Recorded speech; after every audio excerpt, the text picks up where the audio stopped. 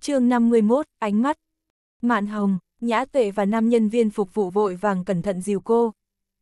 Đừng đụng tôi, Trần Mạn Hồng lập tức hất ra tay của Nhã Tuệ, hung hăng lườm cô một cái, mới chỉ vào đường khả hình, tức giận đến run rẩy nói, đây chính là người bạn thân mà cô nói thông minh, lanh lợi, đáng yêu, lại hết sức chăm chỉ công việc.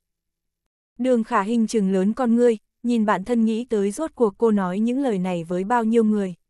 Cô cũng không biết, sau này một đống quản lý, giám đốc, rất nhiều, rất nhiều người chấp nhận tuyển dụng cô đều bị kêu lên phòng tổng giám đốc uống cà phê. Nhã tuệ lập tức mỉm cười nói với Trần Mạn Hồng, nói ôi chao. Đây là sự thật a hôm nay chẳng qua cô ấy xảy ra một chút chuyện ngoài ý muốn mới như vậy. Nhưng bình thường, cô ấy thật sự là một nhân viên vô cùng chăm chỉ. Đã có rất nhiều năm kinh nghiệm làm việc ở quán bar. Trong lòng Trần Mạn Hồng dâng lên tức giận, nhạo báng nhã tuệ nói, đừng tìm tôi nói có bao nhiêu năm kinh nghiệm làm việc ở quán bar. Cô làm quản lý nhà hàng ngày đầu tiên hả? Cô ấy làm một năm ở nơi nào, cũng không bằng một ngày kiến thức ở chỗ này. Mặc dù các cô ở đây sơn mười móng tay rất buồn nôn. Năm nhân viên phục vụ cùng ngẩng đầu lên, nhìn Trần Mạn Hồng, vẻ mặt khổ sở gọi quản lý. Đừng gọi tôi, cút ra ngoài, Trần Mạn Hồng lạnh lùng nói. Năm nhân viên phục vụ thở phào nhẹ nhõm, vội vàng cất bước muốn đi ra ngoài nhưng mới vừa đi tới bên cửa, Mạn Hồng lập tức nghiêng mặt trừng mắt nói, hôm nay tôi gặp ai, mời ai, người nào đi ra ngoài nói nửa câu, nhất là tiết lộ với bộ phận khác ví dụ như là con gà mẹ chết tiệt Tào Ngọc Tinh, tôi sẽ chặt đứt 10 móng tay các người. Năm nhân viên phục vụ nghe xong lập tức cúi đầu, vừa căng thẳng đi ra ngoài, vừa nói chúng tôi không nhìn thấy bất cứ thứ gì. Đường khả hình cúi đầu, ánh mắt hơi lóe lên nhìn cô gái đi qua bên cạnh một cái, liền xin lỗi ôm chặt tài liệu, cúi đầu. Lúc này Trần Mạn Hồng hơi thu sắc mặt, hơi đứng thẳng người, vẻ mặt chán ghét nhìn cách ăn mặc toàn thân đường khả hình, chỉ cần nghĩ đến càng cua từ trên tóc của cô rớt xuống lúc này, Trần Mạn Hồng liền buồn nôn chặn ngực thở hổn hển, miệng kiên quyết nói, đúng là khiêu chiến giới hạn cuối cùng trong cuộc đời tôi. Đem bộ dáng này tới gặp tôi, còn muốn tôi tuyển dụng cô ấy.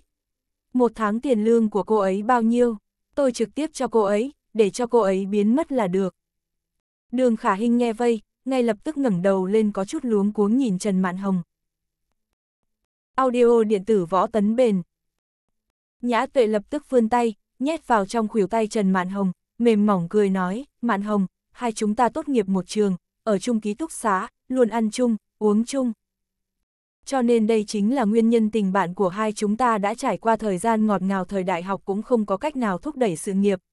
Trần Mạn Hồng vô cùng khó khăn vươn tay, nhẹ nhàng đảo qua thân thể xinh đẹp hấp dẫn của mình, mới nhìn nhã tuệ rất quê mùa, mỗi ngày chỉ biết mặc đồng phục, vừa tan tầm liền đổi tê sớt và quần jean, nói, nguyên nhân gì?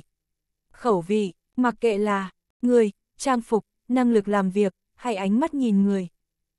Cô nói hết lời liền nhìn thẳng vào đường khả hinh ánh mắt rơi vào đống rong biển trên đầu, trên mặt đường khả hinh Giống như gào khóc, cô a hát một tiếng, tay nâng chán, thật khổ sở kêu lên, đáng thương ánh mắt xinh đẹp của tôi đây. Uất ức cho bọn chúng hôm nay phải nhìn thấy người như vậy. Càng cua làm cho người ta buồn nôn. Đường khả hình có chút căng thẳng cúi đầu xuống, lại nắm tóc, nhìn xem có còn rong biển hay không. Cô nói xem loại người như cô có thể có tương lai gì. Cô có tư cách gì làm bạn bè của tôi? Không được, tôi không thể tuyển dụng cô gái này. Tôi nhìn thấy cô ấy sẽ ảnh hưởng nghiêm trọng đến cái nhìn thẩm mỹ của tôi. Để cho cô ấy đi thôi. Trần Mạn Hồng xoay người một cái, kiên quyết nói.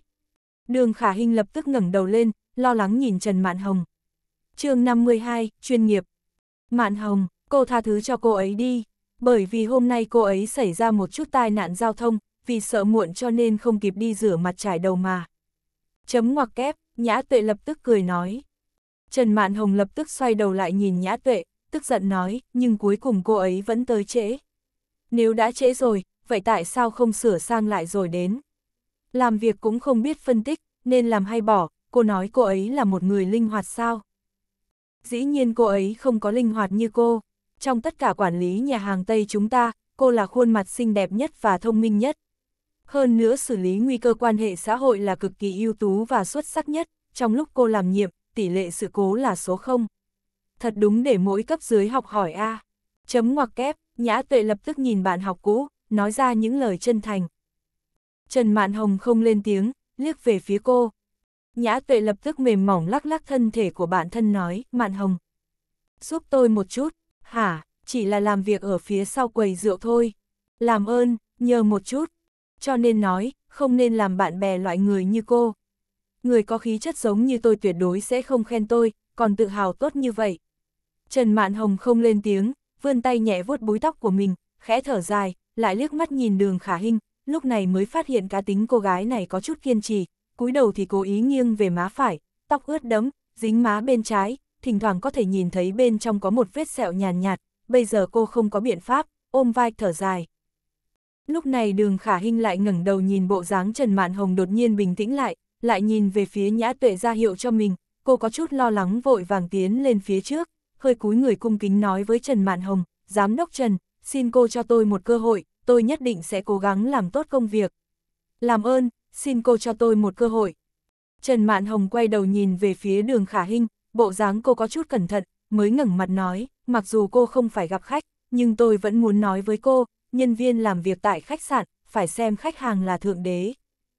Đường khả hình không lên tiếng, thật yên tĩnh lắng nghe. Trần Mạn Hồng tiếp tục nhìn đường khả hình nói, nhưng... Chúng tôi muốn, các người đối với khách cẩn thận và tôn trọng. Không muốn các người đối với khách cúi đầu, là khách sạn hàng đầu trên toàn thế giới, chúng ta tự tin có thể cung cấp cho khách hàng dịch vụ tốt nhất.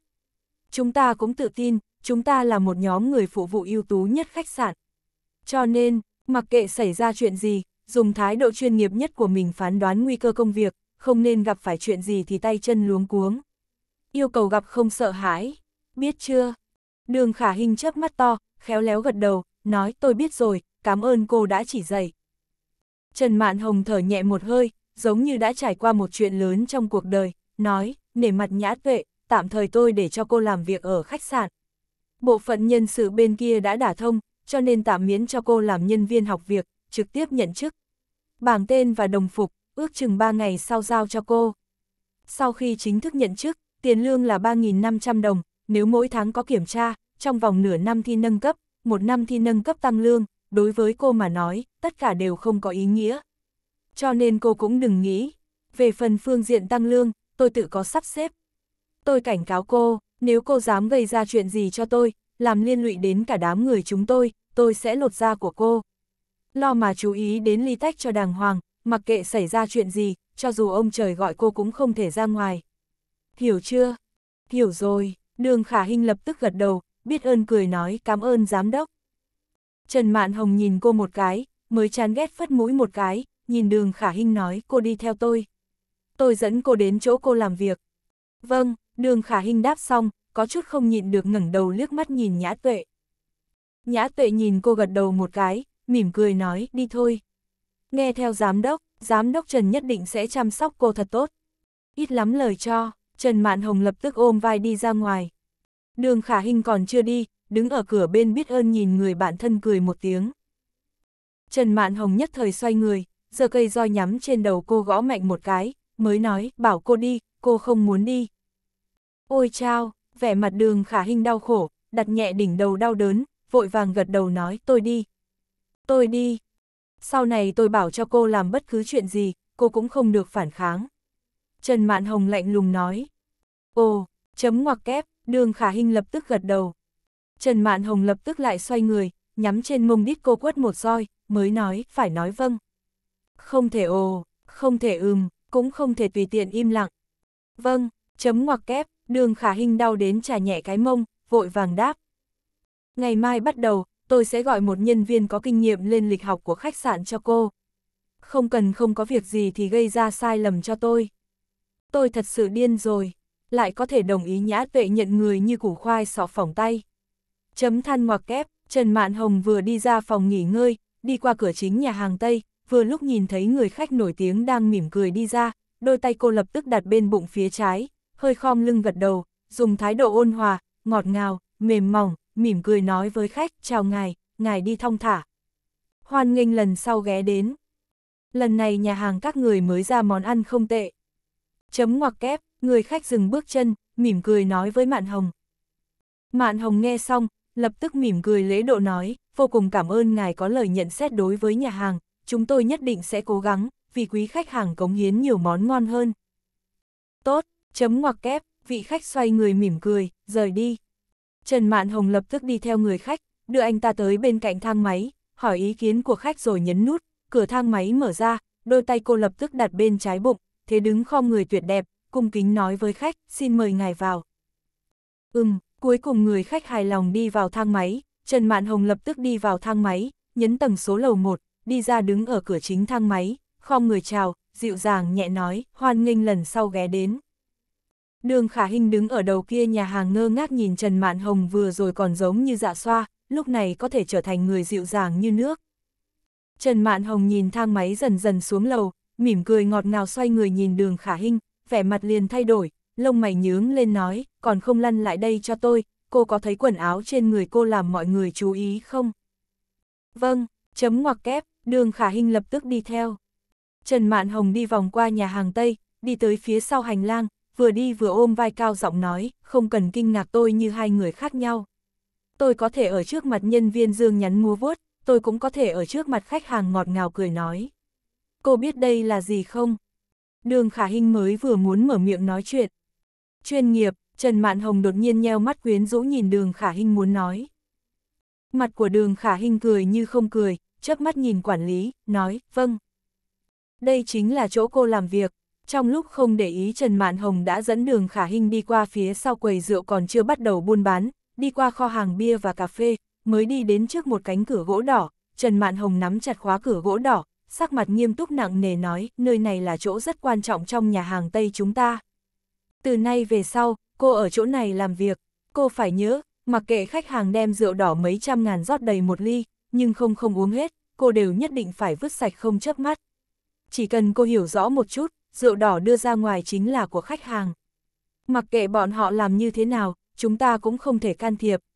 Cũng không thể để ngăn trở. Vâng, đường khả hình vội vàng gật đầu. Trần Mạn Hồng nhìn cô chằm chằm, rốt cuộc cửa chính ầm ầm mở ra. chương 53, người bạn thân. Đường khả Hinh đứng ở trước cánh cửa căn phòng tối lập tức ngửi được mùi rượu đỏ thơm nồng nặc, cô chớp mắt, không dám để lộ ra kích động. Trần Mạn Hồng nghiêm nghị đi trước vào trong phòng, sau đó nhìn đường khả Hinh nói, vào đi. Đường khả Hinh ngừng thở, đôi tay vẫn nắm gọn gàng, từng bước từng bước đi vào trong căn phòng tối, Mạn Hồng mới nhấn công tắc bên trong phòng, ngay tức khắc một ngọn đèn nhỏ màu đỏ sáng lên, nhất thời nhìn thấy gần 100 mét vuông đặt vô số giá gỗ theo phong cách châu Âu, vô số ly thủy tinh, mỗi ly chiếc thủy tinh, đều đặt theo kiểu nằm ngang, dựng thẳng, ngược chiều, tầng tầng lớp lớp. Nơi này tổng cộng có 13.000 ly thủy tinh, chỉ cần đánh vỡ một cái, đều phải có trưởng bộ phận ký tên, quản lý ký tên, phó giám đốc ký tên, giám đốc ký tên, cầm giấy đã ký tên thông báo cho phòng kế toán, sau khi được phê duyệt, lại phân công bộ phận mua hàng trong vòng 3 ngày phải bổ khuyết chỗ ly trống. Hơn nữa bên thu mua hàng mỗi tháng cũng sẽ phái người tới kiểm tra ly của chúng ta. Cho nên ở đây cô đừng dở cho gì, không có ích lợi gì. Nơi này cũng bố trí rất nhiều camera, theo dõi tình hình rượu 24 giờ, cho nên không có chuyện gì cũng không cần lười biếng bởi vì bộ phận kiểm tra lúc nào cũng có thể sẽ kiểm tra các băng ghi hình. Chấm than ngoặc kép, Trần Mạn Hồng đi tới trước một giá ly thủy tinh tulip, xoay người lại nhìn về phía đường khả hình nói. Đường khả hình kích động nhìn tất cả kiểu dáng ly rượu đỏ, thật sự có rất nhiều kiểu chưa từng thấy, nghe thấy cũng chưa nghe thấy, phải biết, rượu đỏ có hàng ngàn chủng loại, ly nếm thử rượu đỏ cũng có hàng ngàn chủng loại. Trần Mạn Hồng nhìn vẻ mặt cô kích động như thế, nhắc lại, nơi này mỗi kiểu ly đều dán nhãn.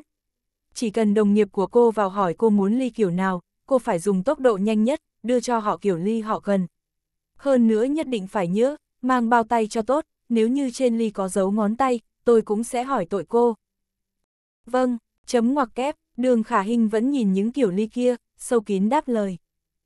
Trần Mạn Hồng không lên tiếng nữa mà đi tới trước máy móc dựa vào mặt tường, cao gần 2 mét, chỉ vào cái nút màu đỏ nói, đè xuống cái nút này, cửa máy móc sẽ tự động mở ra, đưa ra tất cả kiểu dáng, sau đó cô đem cái ly khách đã uống đặt vào bên trong, máy móc sẽ có chức năng tự động rửa sạch. Chuyện này sẽ có đồng nghiệp dạy cho cô làm.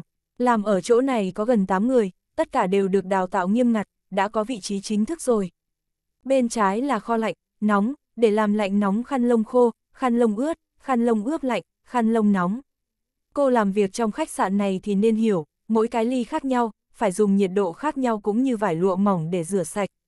Một tấm vải lụa mỏng, một cái ly, hiểu chưa? Vâng, chấm ngoặc kép, Đường Khả hình nhìn căn phòng rượu này, nghĩ tới ngày trước ở trong quán ba cũng đã đọc tham dự khóa học, nhưng đi vào nơi này mới biết, ở chỗ này thật sự là cẩn thận tỉ mỉ, không cho phép bất luận kẻ nào phạm sai lầm, cô không khỏi nhớ tới cha, trong lòng không khỏi chua xót. Đi vào cùng tôi, Trần Mạn Hồng dẫn đường Khả Hinh đi qua tầng tầng lớp lớp ly thủy tinh, đi vào trong vào một gian phòng tối, nhấn công tắc.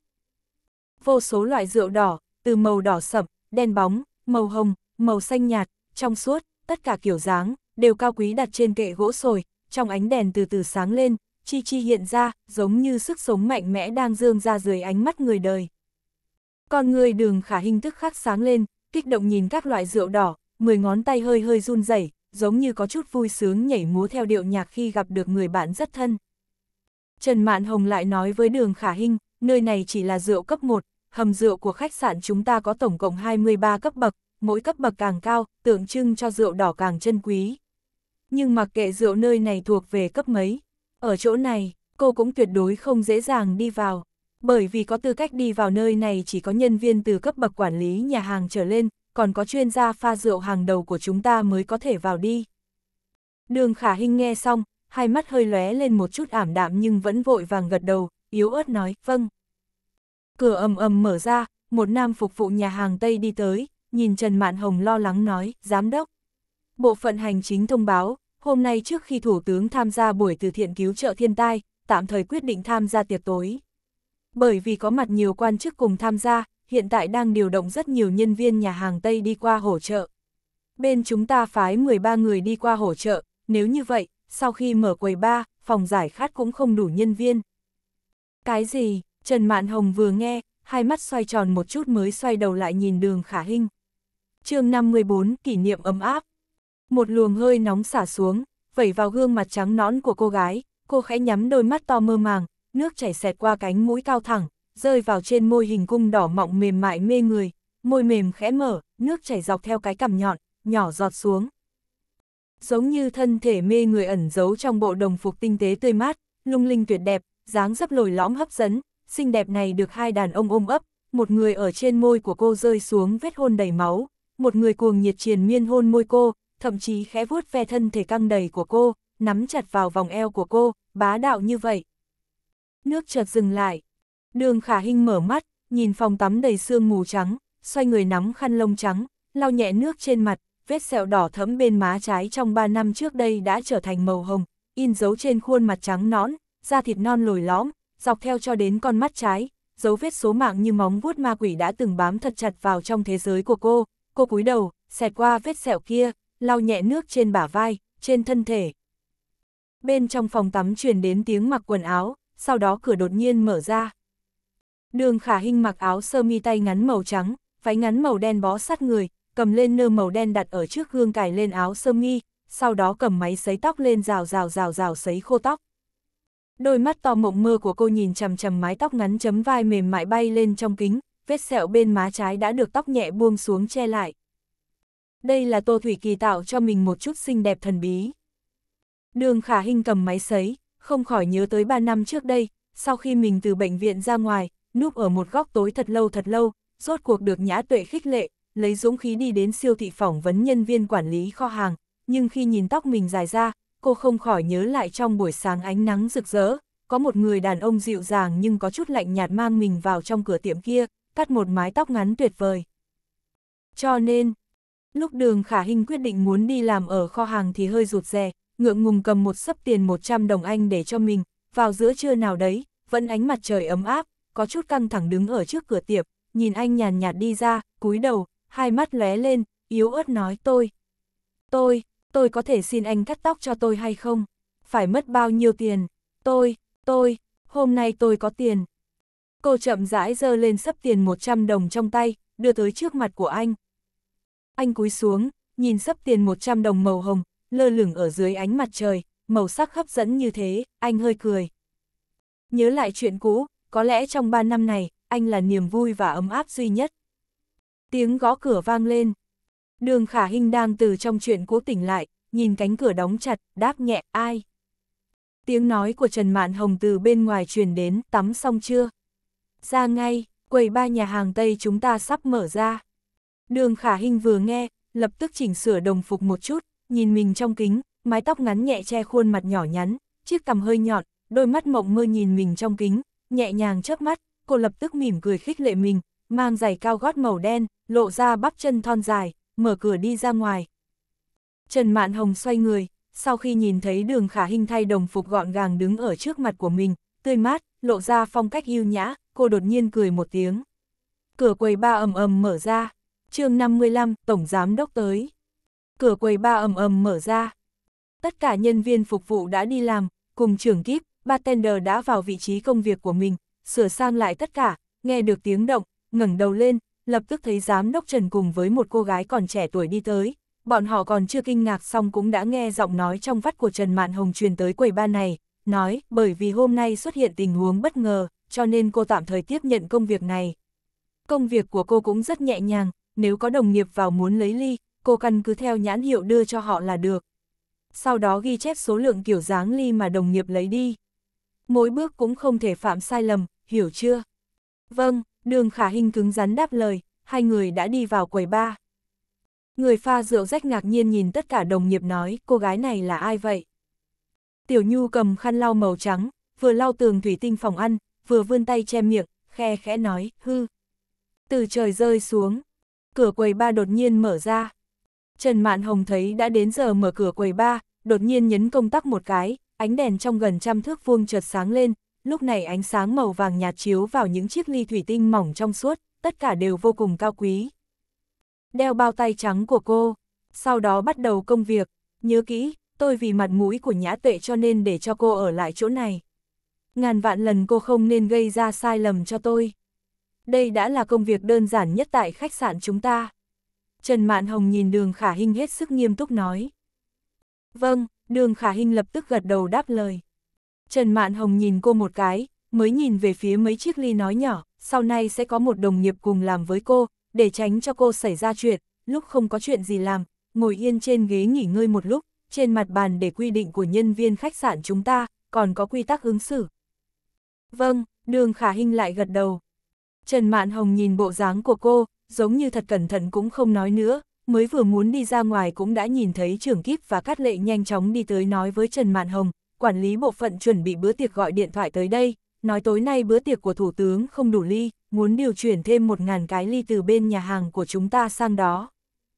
Mau, lập tức chuẩn bị, Trần Mạn Hồng vỗ tay gật đầu, Cát Lệ lập tức dẫn nhân viên phục vụ khách sạn đẩy xe di động đi tới mang ly. Trần Mạn Hồng lập tức xoay người nói với đường khả hình nói, nhanh cầm bản ghi chép trên bàn, ghi lại nhà hàng bên bọn họ mượn nhà hàng chúng ta bao nhiêu cái ly, đến lúc đó thiếu một cái, hay đánh vỡ một cái, liền yêu cầu bọn họ trả lại.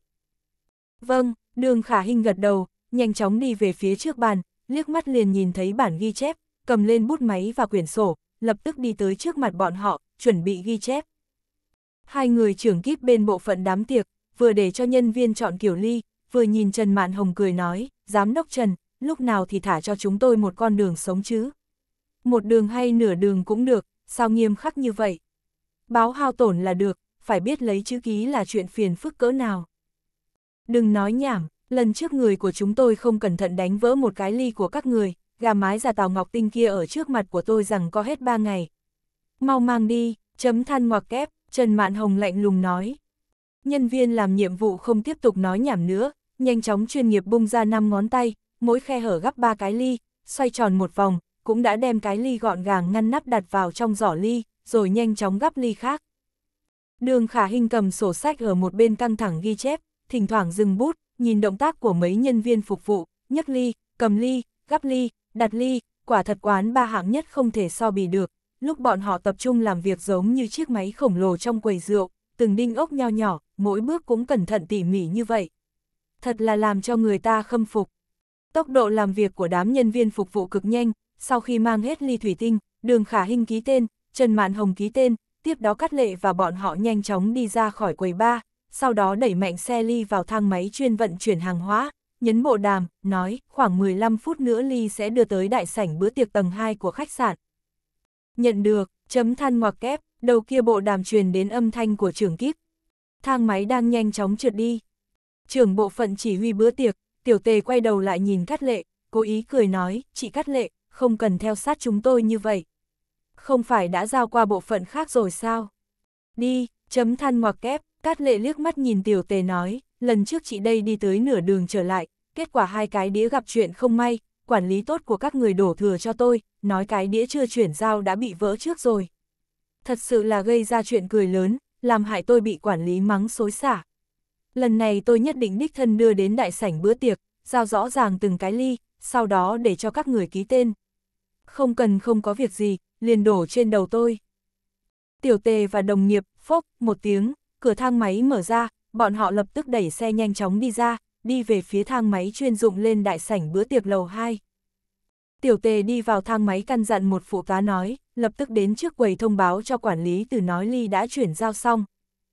Dạ, chấm than ngoặc kép, nam nhân viên phục vụ mới được bố trí vào đại sảnh bữa tiệc, lập tức đi ra thang máy, chuyển qua hành lang, đi vào đại sảnh khách sạn gần ngàn mét vuông, đã thấy mấy đặc cảnh đang tuần tra tình hình tại khách sạn, quản lý từ chuẩn bị bay đến Nhật Bản nên đang bàn giao lần cuối với phó giám đốc, anh ta mới vừa định đi tới, lại nghe được trong hành lang truyền đến một âm thanh nói, tổng giám đốc đến rồi. Chấm than ngoặc kép. Audio điện tử võ tấn bền.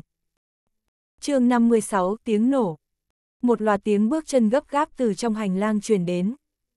Hoác Minh dẫn theo các lãnh đạo cấp cao của khách sạn, bước nhanh đi ra đại sảnh, cũng vẫy tay bảo từ Trạch Minh cũng lập tức đi theo mình.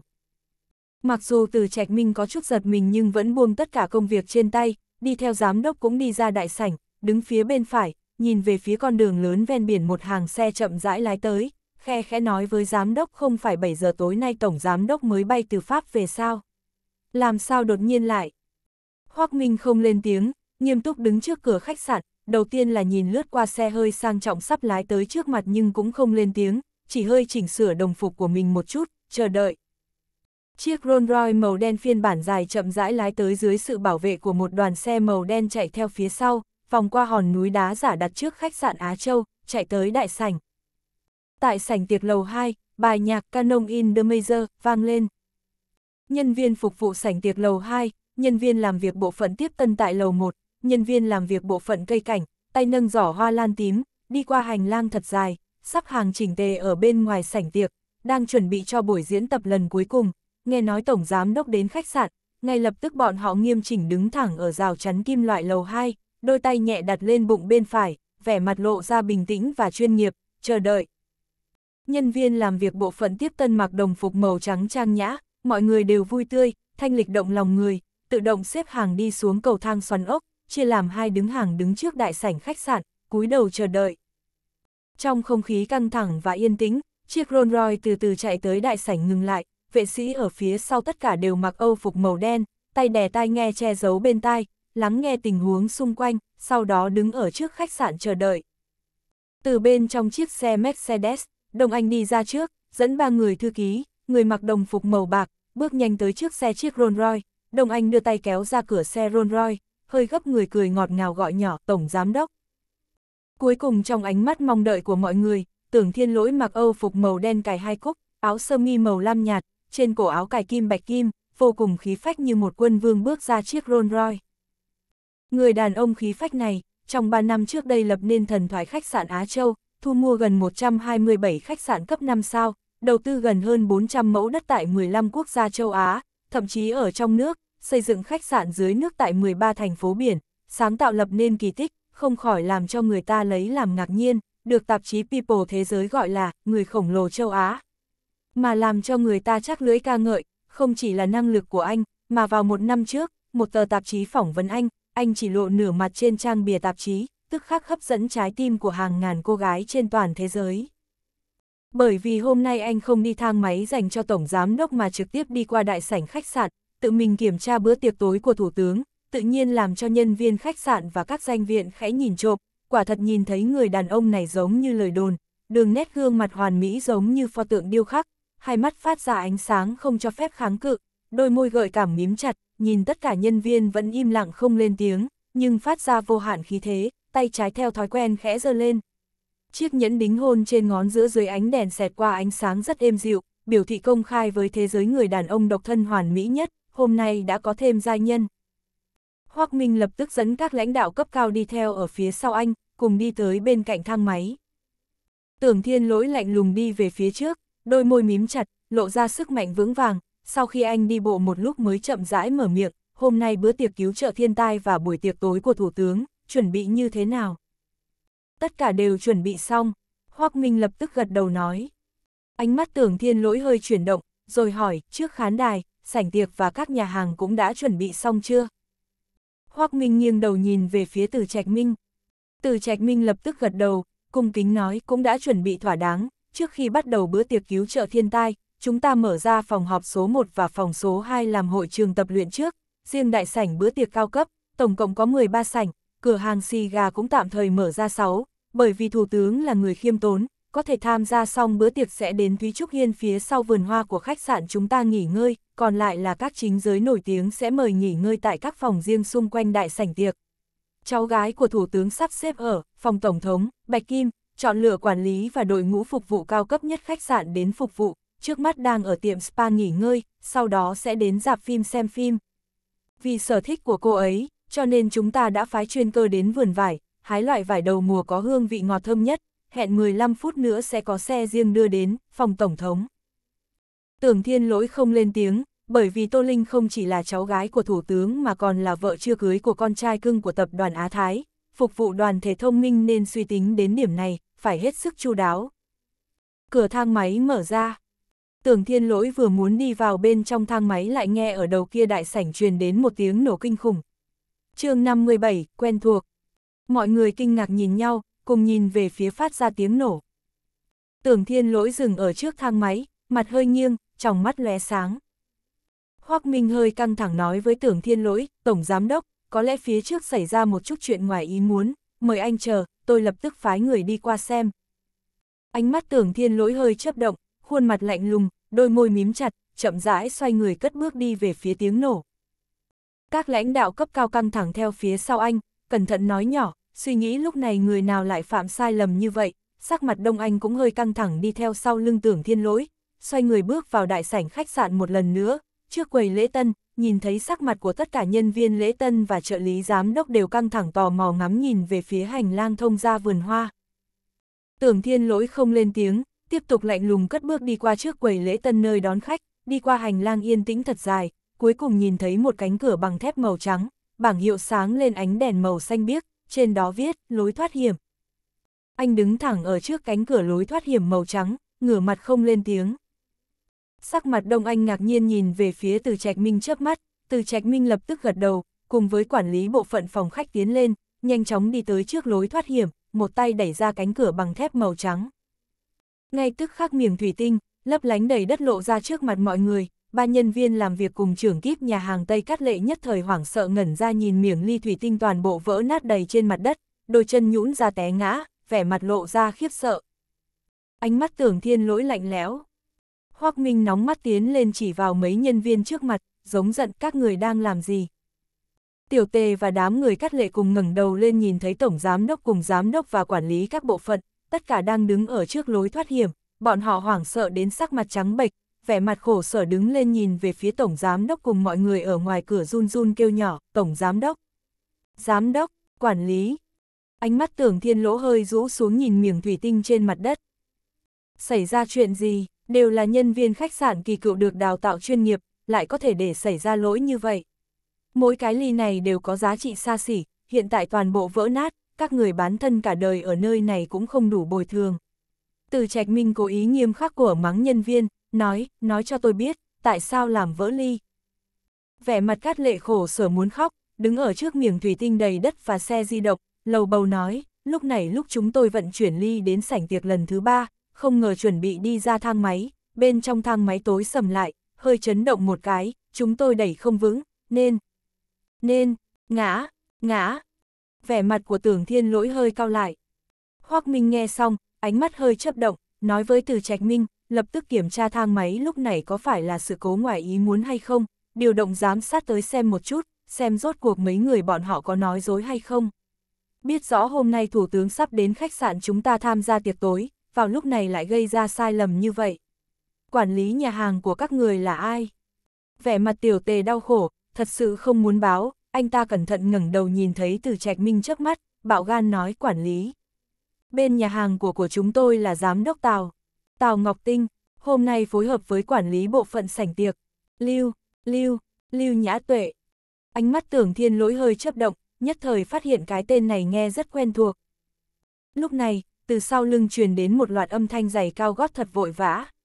chương 58 Kiểm tra Trần Mạn Hồng, Tào Ngọc Tinh, Lưu Nhã Tuệ, quản lý ba bộ phận, trợ lý giám đốc vẻ mặt hốt hoảng gấp gáp đuổi theo, nhất thời thấy tổng giám đốc và giám đốc cùng lãnh đạo cấp cao của khách sạn đứng đông nghẹt trước lối thoát hiểm, mọi người trừng mắt, còn người phóng đại, hoảng sợ đến hai chân cũng mềm nhũn đi tới đứng trước mặt tổng giám đốc cùng gấp người xuống, căng thẳng cung kính nói tổng giám đốc. Giám đốc, tưởng thiên lỗi không lên tiếng, ánh mắt quét qua một cái, cuối cùng nhìn thấy cô gái thứ ba mặc đồng phục, sắc mặt căng thẳng cúi đầu, cặp mắt rối loạn lo lắng chớp mắt, cũng trong sáng, xinh đẹp, nhất thời chuyện cũng nhanh chóng xẹt qua đầu, có một người đã từng ở trong mưa gió, khóc thút thít vỗ cửa kính. Lưu Nhã Tuệ cảm giác sau lưng mình lạnh lẽo làm cho cô không khỏi ngẩng đầu lên, lập tức nhìn thấy vẻ mặt của tưởng thiên lỗi buộc chặt, dùng ánh mắt lạnh lùng ẩn chứa nghi ngờ nhìn mình chòng chọc, trái tim của cô chợt run lên, lập tức cúi đầu, chuyện của Khả Hinh đã qua 3 năm, thân phận mình hèn mọn không có gặp qua tổng giám đốc, nhưng cuộc trò chuyện ở bệnh viện lần đó và lần ở trong mưa cầu khẩn, làm cho cô nhất thời căng thẳng lúng túng. Đông Anh thấy tưởng thiên lỗi vẫn lạnh lùng không lên tiếng, cô liền hiểu ý ngẩng đầu lên nhìn ba người các cô, nói với Trần Mạn Hồng, lập tức đi điều tra chuyện vỡ ly lần này là do thang máy có sự cố hay do nhân viên thiếu trách nhiệm. Mặc kệ chuyện như thế nào, việc đã đến nước này cần phải xử lý. Tào Ngọc Tinh căng thẳng nói, chúng tôi lập tức thông báo cho nhân viên quầy rượu nhà hàng Tây, cầm bảng ghi chép số liệu ly điều ra ngoài bị tổn thất bao nhiêu ly, xem một chút có còn sót lại hay không, sau khi kiểm tra và ghi chép rõ ràng, ngay lập tức. Mời nhân viên bộ phận dịch vụ tới dọn dẹp miếng thủy tinh. Đông Anh hơi quay mặt sang, nhìn thấy gương mặt tưởng thiên lỗi vẫn buộc chặt không lên tiếng, ngay lập tức cô nói, làm phiền quản lý từ và quản lý tiêu bộ phận công trình đi điều tra sự cố thang máy, mời đưa Tổng Giám Đốc đến phòng quan sát xem xét camera 20 phút trước, nguyên nhân mấy nhân viên làm vỡ ly. Lập tức gọi điện thoại đến quầy rượu nhà hàng Tây, bảo nhân viên làm ghi chép điều phối ly hôm nay, ghi chép hao tổn.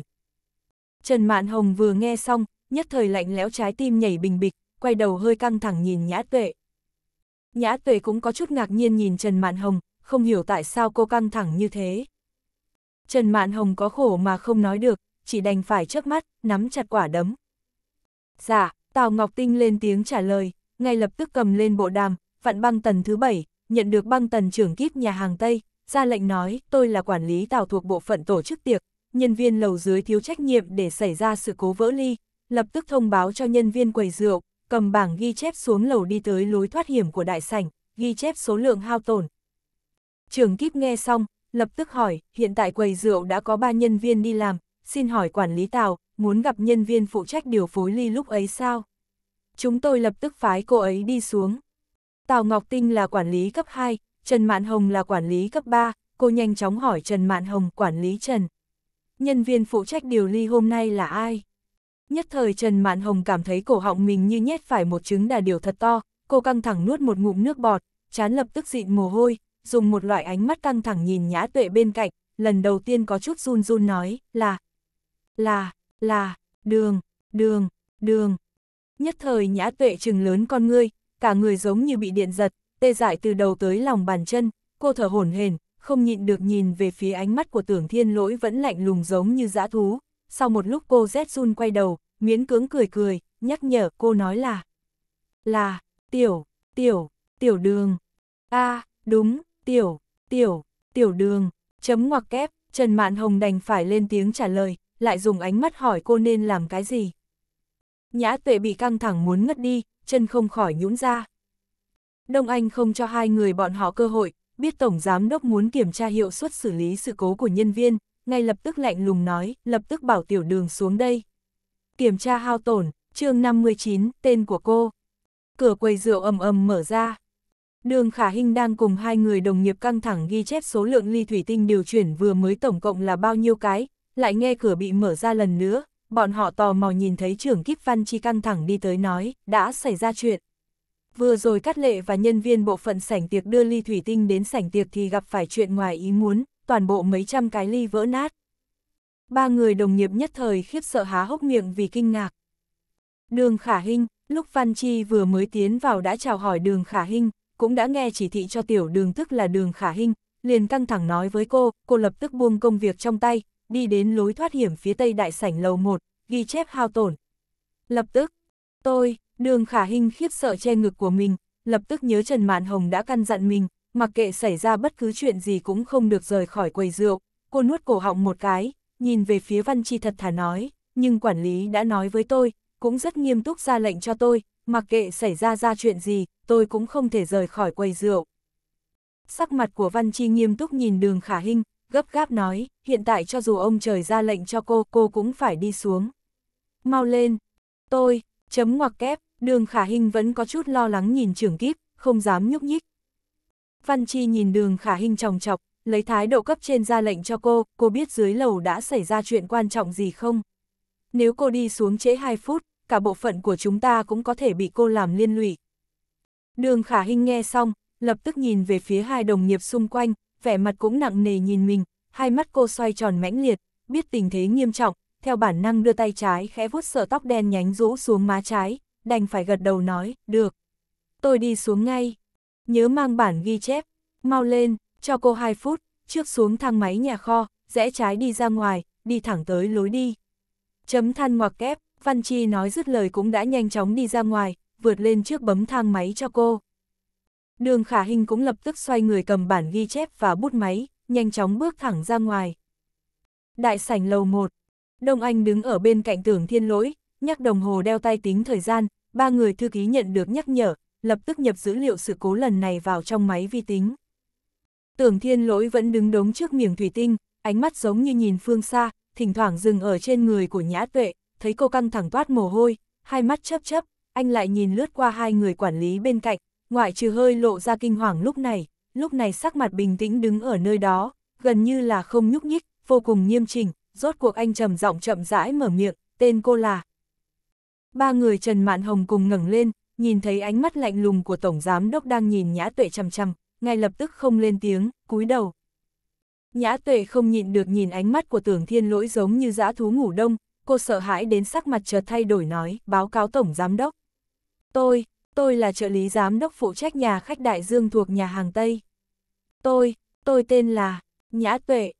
Đông Anh không nhịn được nghiêng mặt nhìn về phía Nhã Tuệ, thật sự không khỏi nhớ tới sự cố 3 năm trước đây. Con người tà mị của tưởng thiên lỗi khẽ chấp nhìn Nhã Tuệ, nói, đường đường là trợ lý giám đốc nhà khách Đại Dương nhà hàng Tây, nhưng đối mặt với mấy trăm cái bể ly, cũng đã hốt hoảng đến mức này, bình thường cô không huấn luyện xử lý sự cố sao.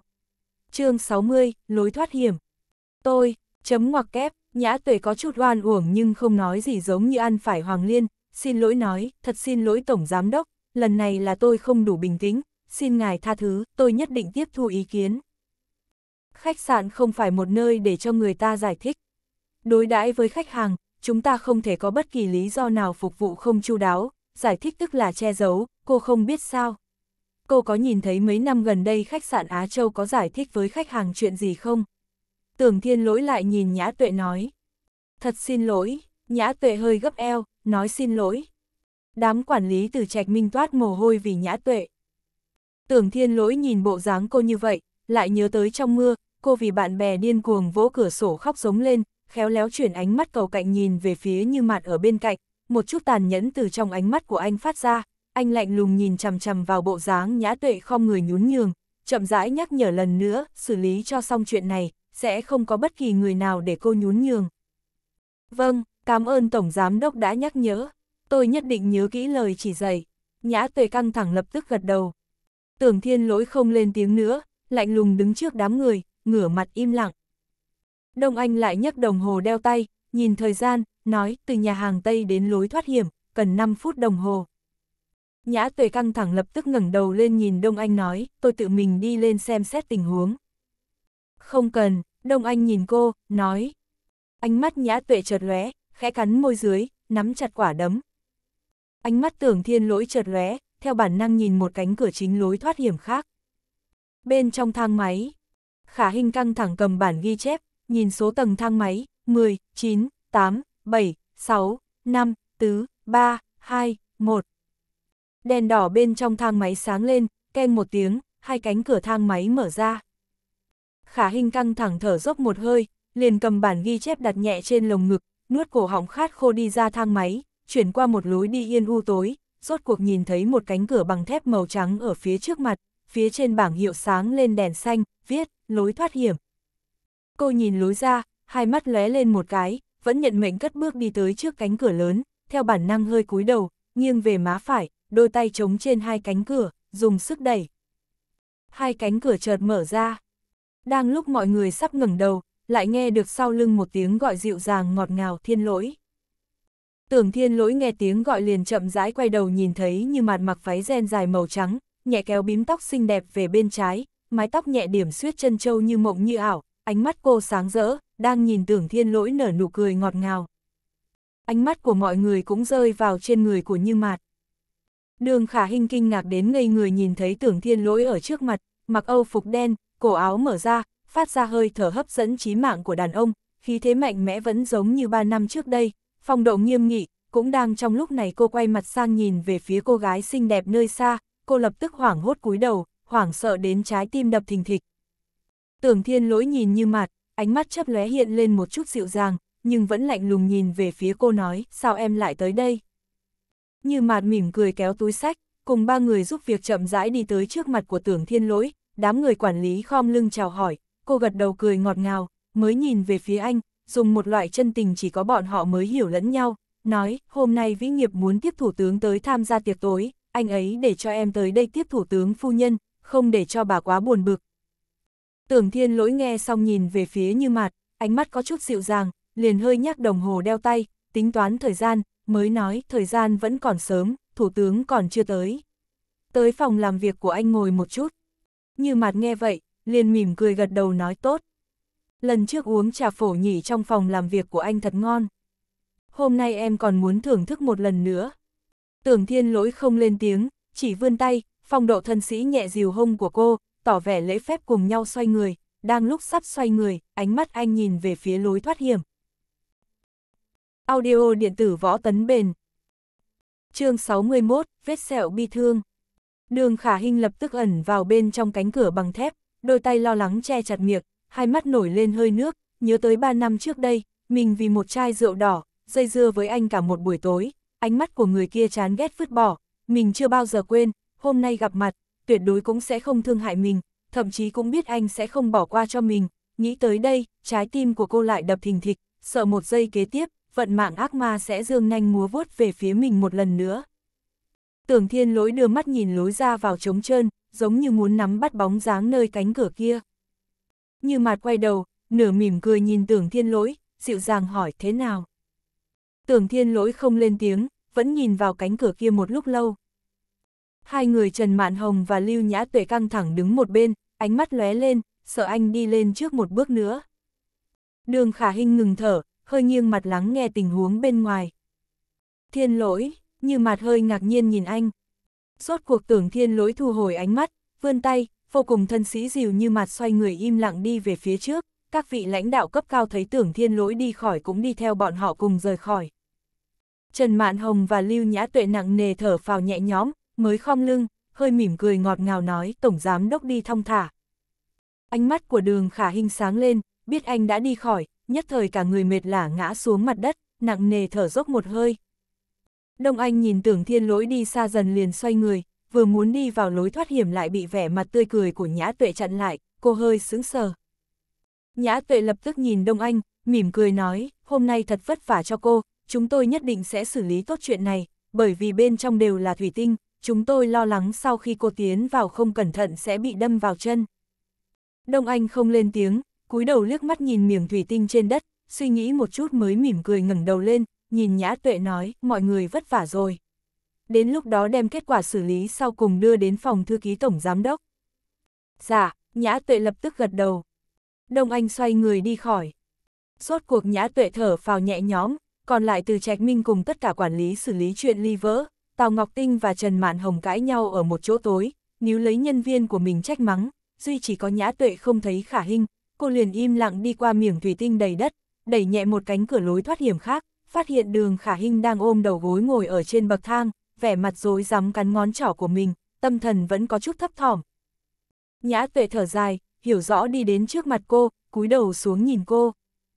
Đường khả hình lập tức ngẩng đầu lên nhìn nhã tuệ, cẩn thận nói, anh ấy đi rồi, đúng không? Nhã tuệ nhàn nhạt gật đầu. Đường khả hình nở nụ cười cảm ơn trời đất, cúi đầu, ngưng mắt nhìn một chỗ trên đất không lên tiếng. Nhã tuệ cũng cười khổ một tiếng mới ngồi xuống, dịu dàng nói tôi không nghĩ hôm nay lại xảy ra chuyện như vậy, ba năm trước trải qua chuyện gặp gỡ của cô, tôi nghĩ sẽ không gặp Tổng Giám Đốc nữa, tôi gần như có cảm giác thể cả đời này tôi cũng không nhìn thấy anh ấy. Nhưng không nghĩ tới hôm nay. Đường Khả Hinh quay đầu nhìn bản thân nói, thật xin lỗi. Tôi để cho cô lo lắng. Nhã tuệ cười nói, đừng nói chuyện này. Vừa mới rồi thật sự là kinh hiểm, nếu như các người chạm mặt, tôi cũng không dám nghĩ sẽ xảy ra chuyện gì.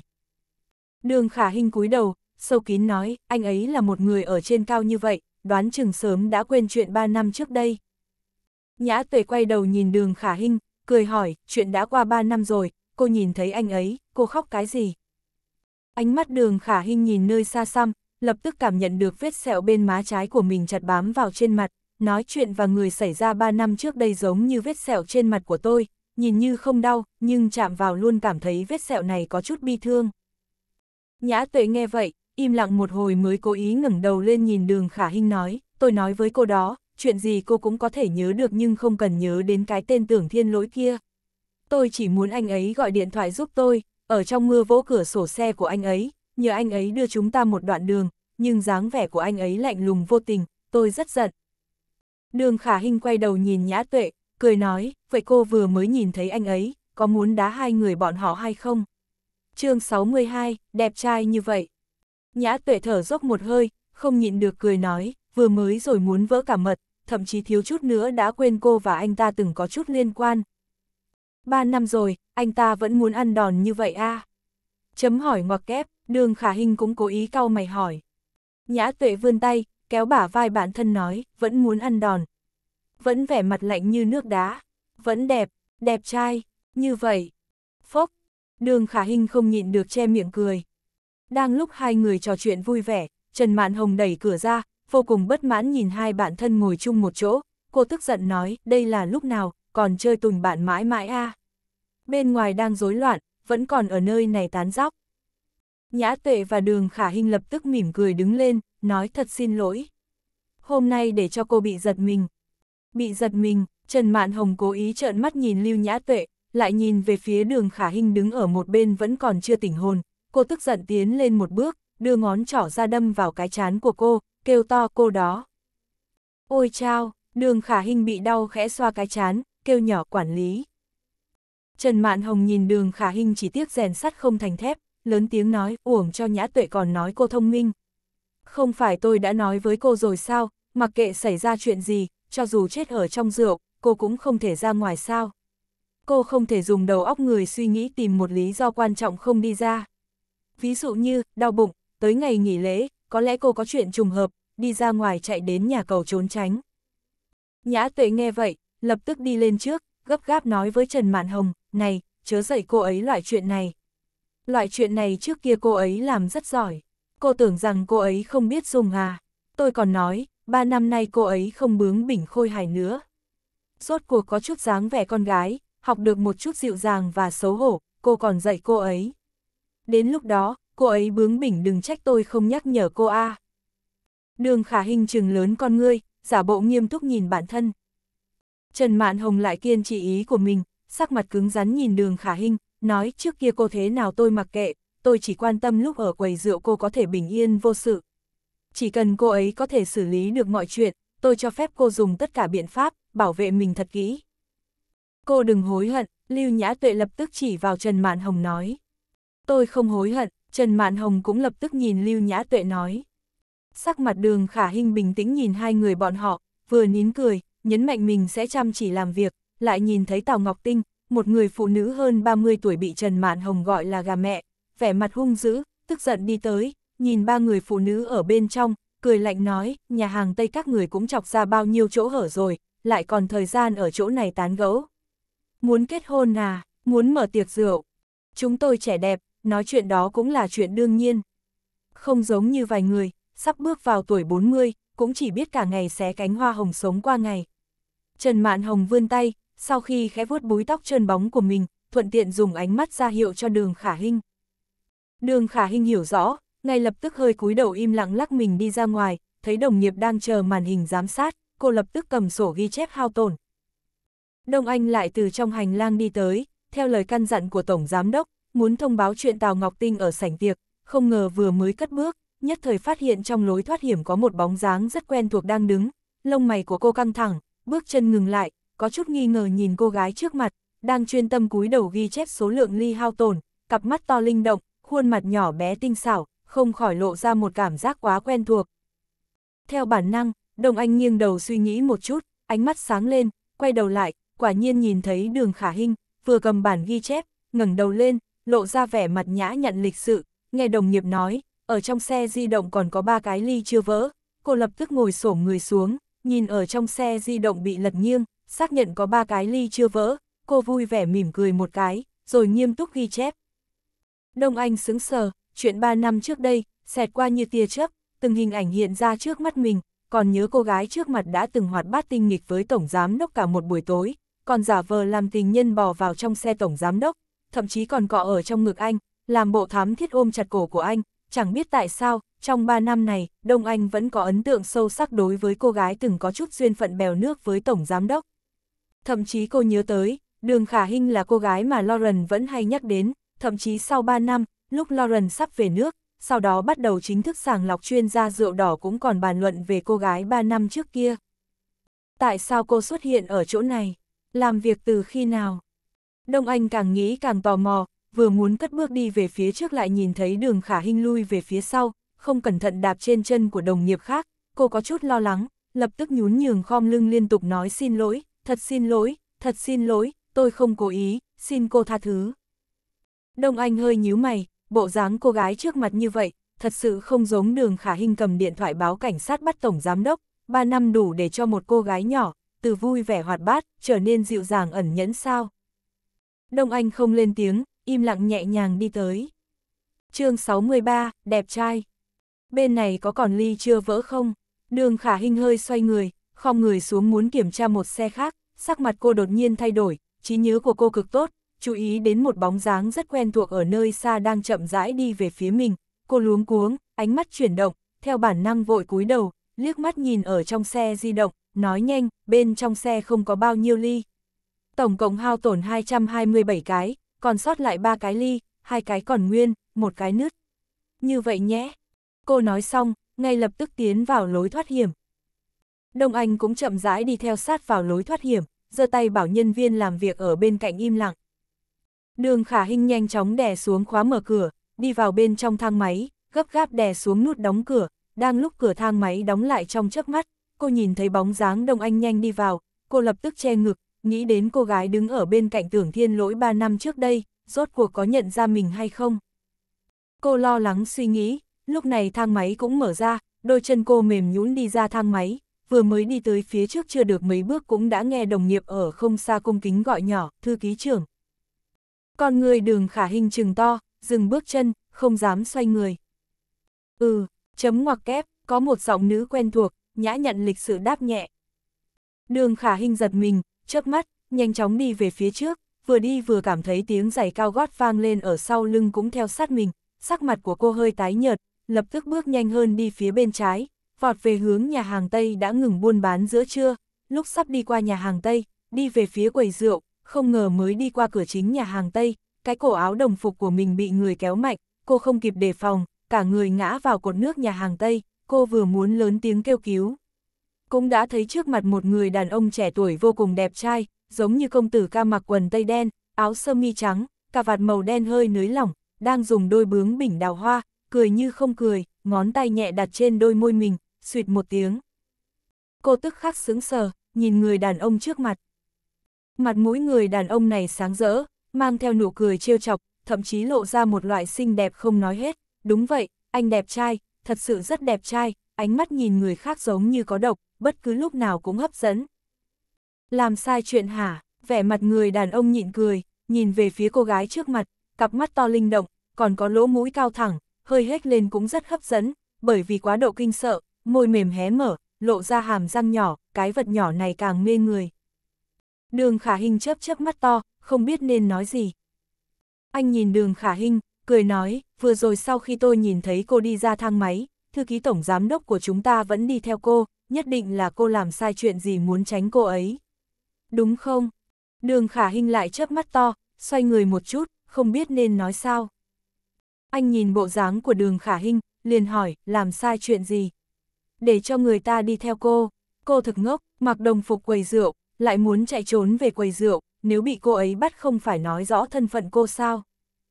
Đường khả hình nhìn anh chằm chằm, rốt cuộc có chút tò mò thân phận của anh, anh giống như nhân viên khách sạn, lại không giống nhân viên khách sạn, anh là ai? Tôi dạy cho cô, chấm ngoặc kép, anh ho nhẹ một chút, nhìn đường khả hình cười như không cười nói, nếu sau này cô làm sai chuyện gì, phát hiện bị người đi theo dõi, ngàn vạn lần cô không được quay về bộ phận của mình, tốt nhất là chạy trốn tới những bộ phận khác, nhất là bộ phận của Tào Ngọc Tinh càng tốt. Anh, anh, anh, rốt cuộc anh là ai? Đường khả hình nhìn người đàn ông trước mặt, càng nghĩ càng không ổn, theo bản năng hỏi ngay. Người đàn ông cố ý nghiêm mặt nhìn cô nói, đi làm cũng không xem lại hồ sơ công việc. Cũng không xem thành viên giới thiệu sao. Đường khả hình không dám lên tiếng trả lời, nghi ngờ nhìn anh. chương 614, sau lưng.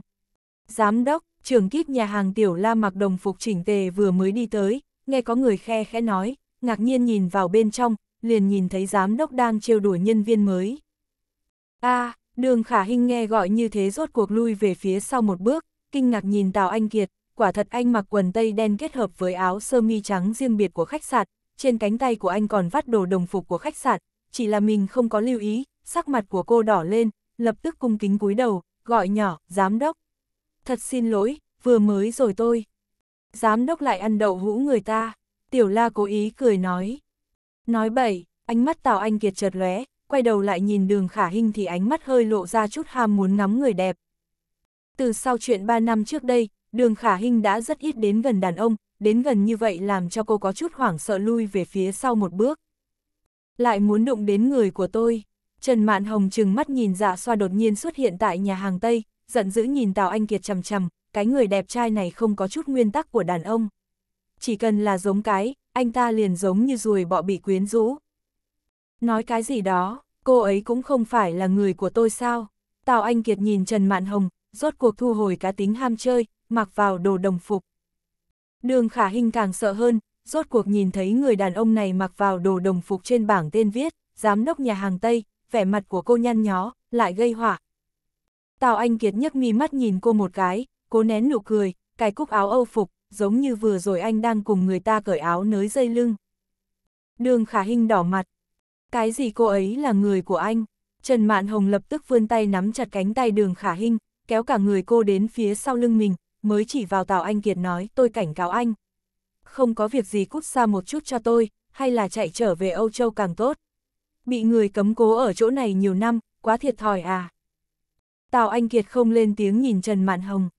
Trong tất cả mọi người, Trần Mạn Hồng là người thứ nhất không e ngại thân phận của anh, liền đi lên trước một bước, chợt nhíu mày lông nói, nếu như chưa thỏa mãn dục vọng, có thể nói tổng giám đốc cởi gông xiềng cho anh, mặc sức bay lượn A. Cô ghê tởm, tôi tự hiến thân cho khách sạn được rồi. Tào Anh Kiệt nói như thể chỉ có hai người, anh và Trần Mạn Hồng mới hiểu, vừa nói, vừa hứng thú nhìn đường khả hình.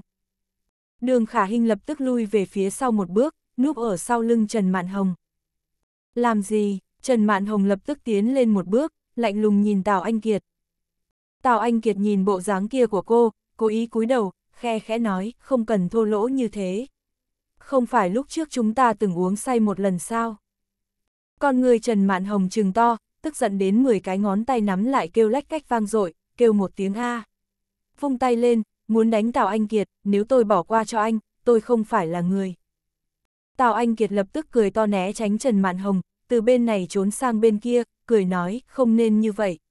Đêm hôm đó, tôi không có làm gì cô, sao cô nhạy cảm như vậy? Vậy anh còn nói mỗi ngày, nhắc tới làm người ta kinh hãi. Trần Mạn Hồng vòng qua một vị trí nào đó, cầm một bình hoa trên bàn ăn, muốn ném anh. Chớ ném a lúc báo hao tổn, tôi không ký tên. Tào Anh Kiệt cười né tránh Trần Mạn Hồng, vừa tránh vừa chỉ bình hoa trong tay cô kêu to. Đường Khả Hinh đứng ở một bên, nhìn hai người quản lý có thể ngay trước mặt nhân viên chơi đùa giống như là đứa bé, nhất thời tâm trạng cô cũng vui vẻ, cúi đầu mỉm cười, không biết có một bóng dáng nhàn nhạt ở phía sau lưng đang nhìn mình. chương 65, You are everywhere. Cửa thang máy ầm ầm mở ra. Đông Anh đi ra thang máy, có chút nghi ngờ vừa đi về phía trước vừa nghĩ, tại sao đường khả hình phải tới khách sạn Á Châu làm. Có lẽ chỉ là trùng hợp, bước chân cô hơi dừng lại, nhớ tới 3 năm trước đây, Tổng Giám Đốc chán ghét khả hình như vậy, cho nên mới gấp gáp xoay người vội trốn tránh mình. Cô trầm ngâm suy nghĩ một chút, có lẽ là như vậy rồi. Đông Anh, Annie mỉm cười đi tới.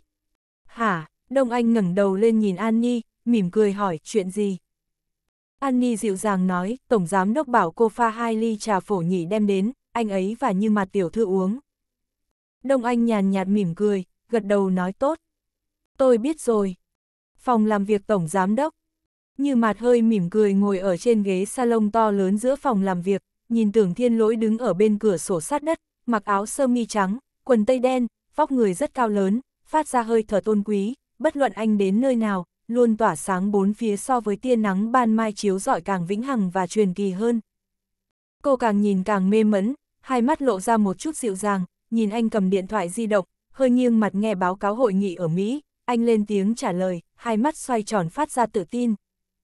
Như mặt say mê đứng lên, từng bước từng bước đi về phía sau lưng tưởng thiên lỗi. Đồ yêu tinh không an phận. Tưởng thiên lỗi vẫn nghe báo cáo khai trương khách sạn bên nước Mỹ, ngoại trừ tập đoàn tài chính hoàn cầu đầu tư 13 triệu đô la, đối với con số này anh cũng không phản đối, nhưng muốn biết tình hình ở Anh Quốc, lại cảm giác ngang lưng ấm áp. Ánh mắt lạnh lùng của anh hiện lên một chút mập mờ, buông lỏng ra tay trái cắm túi quần nhẹ nắm tay phải dừng ở bụng mình, vuốt ve ngón tay mềm mại của cô, chiếc nhẫn ở ngón tay giữa và ngón vô danh cũng nhàn nhạt lóe sáng. Như mạt nhắm lại hai mắt, hưởng thụ nhiệt độ sau lưng anh giữ lại cho mình, chỉ cần đến gần người đàn ông này thì có cảm giác rất an toàn.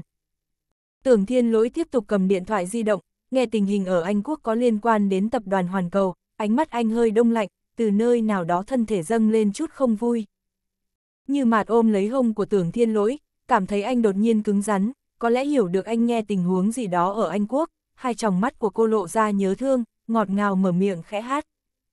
If you the earth is turning faster before I saw you there, em cảm thấy trái đất như đang quay nhanh hơn. Em nhìn thấy anh ở nơi đó. If you the sky is spinning lighter before I saw you there, em cảm thấy bầu trời như đang nhẹ quay. Em nhìn thấy anh ở nơi đó. Tưởng thiên lỗi nghe bài, You are everywhere, vẻ mặt căng thẳng trở nên nhẹ nhàng, hai mắt lộ ra chút dịu dàng, chuyện cũ đã đi qua nhẹ như gió, rồi lại thấm vào tận đáy lòng. Cause you're here, cause you're there, cause you are everywhere, vì anh đang ở đây, vì anh đang ở nơi đó, vì anh ở từng góc trong lòng em. Trên mặt tưởng thiên lỗi lộ ra nụ cười khẽ, rốt cuộc cúp điện thoại, xoay người, nhìn như mặt xinh đẹp say lòng người nhìn mình, hai mắt giống như ánh sao, vẻ mặt ửng đỏ giống như hoa anh đào xinh đẹp trong mùa đông. Anh không nhịn được vươn tay khẽ ôm như mặt vào ngực, cúi xuống lộ ra nụ cười, chậm rãi nói, lại nghịch ngợm. Khuôn mặt của như Mạt ửng đỏ, nhìn dịu dàng như mây như nước, nói em biết lúc nãy tâm trạng anh có chút không tốt. Tưởng thiên lỗi không lên tiếng nhìn cô. Lúc như Mạt nhìn thấy tưởng thiên lỗi mặc áo sơ mi trắng đẹp trai và hấp dẫn thật giống như chồng mình, cô không nhịn được đưa hai tay nhẹ kéo cổ của anh, nhẹ nhàng hôn trên đôi môi mím chặt của anh. Tưởng thiên lỗi hơi rũ mắt nhìn cô, ánh mắt thâm thúy xẹt qua một chút nụ cười thỏa mãn. Như Mạt nhìn biểu hiện ở trong ánh mắt anh, hiểu rõ tình cảm trong lòng anh, nở nụ cười ngọt ngào, lại ôm chặt cổ của anh, đưa lên đôi môi đỏ của mình dừng lại ở trên môi của anh, rốt cuộc không hề tách ra. Tưởng thiên lỗi hơi nheo mắt nhìn cô, hai người bốn mắt nhìn nhau, rốt cuộc mở ra cánh môi, triển miên hôn nhau. Anh ôm chặt eo nhỏ của cô, vuốt ve chỗ gợi cảm sau vai cô, lại bá đạo dùng thân thể đàn ông mạnh mẽ đè cô chặt ở trên tường kính, thắm thiết thu lấy ngọt ngào trong môi đỏ mọng của cô, thậm chí khẽ cắn môi dưới của cô, mút lấy cái cổ màu hồng của cô thông qua của cơ thể phát ra mùi thơm tự nhiên. Như mạt nhắm lại hai mắt, hưởng thụ anh yêu thương an ủi. Tiếng gõ cửa nhẹ nhàng vang lên. Hai người nhẹ nhàng buông ra đối phương, nhưng vẫn ôm nhau ở chung một chỗ, hai mắt nhìn nhau xúc động. Tổng Giám đốc, hôm nay Lauren tiên sinh nói trước khi trở về nước, chuẩn bị xem xét tuyển chọn chuyên gia pha rượu năm nay, cũng thuận tiện hỗ trợ sắp xếp tiệc tối của Thủ tướng và Tô Tiểu Thư. Hiện tại ông ấy ở đại sảnh khách sạn chờ chỉ thị của anh. Giọng nói Đông Anh truyền đến. Audio điện tử võ tấn bền. chương 66, so với phụ nữ còn giống hơn phụ nữ. Trần Mạn Hồng và Tào Anh Kiệt cùng khiếp sợ quay đầu nhìn về phía Cát Lệ, kêu to cái gì. Gương mặt cát lệ nhăn nhó, nhìn hai người quản lý nói, các người không nghe lầm, Tổng Giám Đốc và Lauren tiên sinh muốn tới nhà hàng chúng ta dùng cơm. Hơn nữa 15 phút nữa sẽ tới, Tổng Giám Đốc ra lệnh, không cần chuẩn bị gì cả, để cho chúng ta. Tùy ý là được. Tào Anh Kiệt và Trần Mạn Hồng nghe xong, cùng ngẩng mặt nhìn Cát Lệ một cái, ngay lập tức quay ra hai bên, nói với tất cả nhân viên nhà hàng Tây, tất cả chuẩn bị, sau 15 phút nữa Tổng Giám Đốc và Lauren tiên sinh sẽ tới nhà hàng. Lập tức sửa sang lại mặt mũi, dáng vẻ của các người, lau dọn tất cả bụi bậm trong nhà hàng cho tôi. Dạ, tất cả đồng nghiệp nghe xong, ngay lập tức vào vị trí làm việc của mình, gật đầu xác nhận. Khách sạn Á Châu, tổng cộng chia làm 13 nơi, tất cả đều có phong cách khác nhau, nhà hàng Trung Quốc, nhà hàng Tây và nhà hàng Pháp là nhà hàng đặc sắc, mà Trần Mạn Hồng và Tào Anh Kiệt quản lý nhà hàng Tây, nổi tiếng là nhà hàng ngựa tôn, dành kho những khách cao quý ước chừng 2.000 mét vuông, chia làm phòng ăn chính và quầy rượu ở phía sau, do nhà thiết kế nổi tiếng Casey Lee người Canada thiết kế, lấy phong cách rực rỡ của châu Âu làm chủ, nhà hàng có hai tầng, tầng một mặt hướng biển rộng, tầng hai hướng ra sân thượng. Thiết kế một phòng VIP trang nhã, phối hợp hai chủ đề ngày và đêm, mỗi khi hoàng hôn dần buông, có thể ngắm cảnh sắc mặt trời lặn.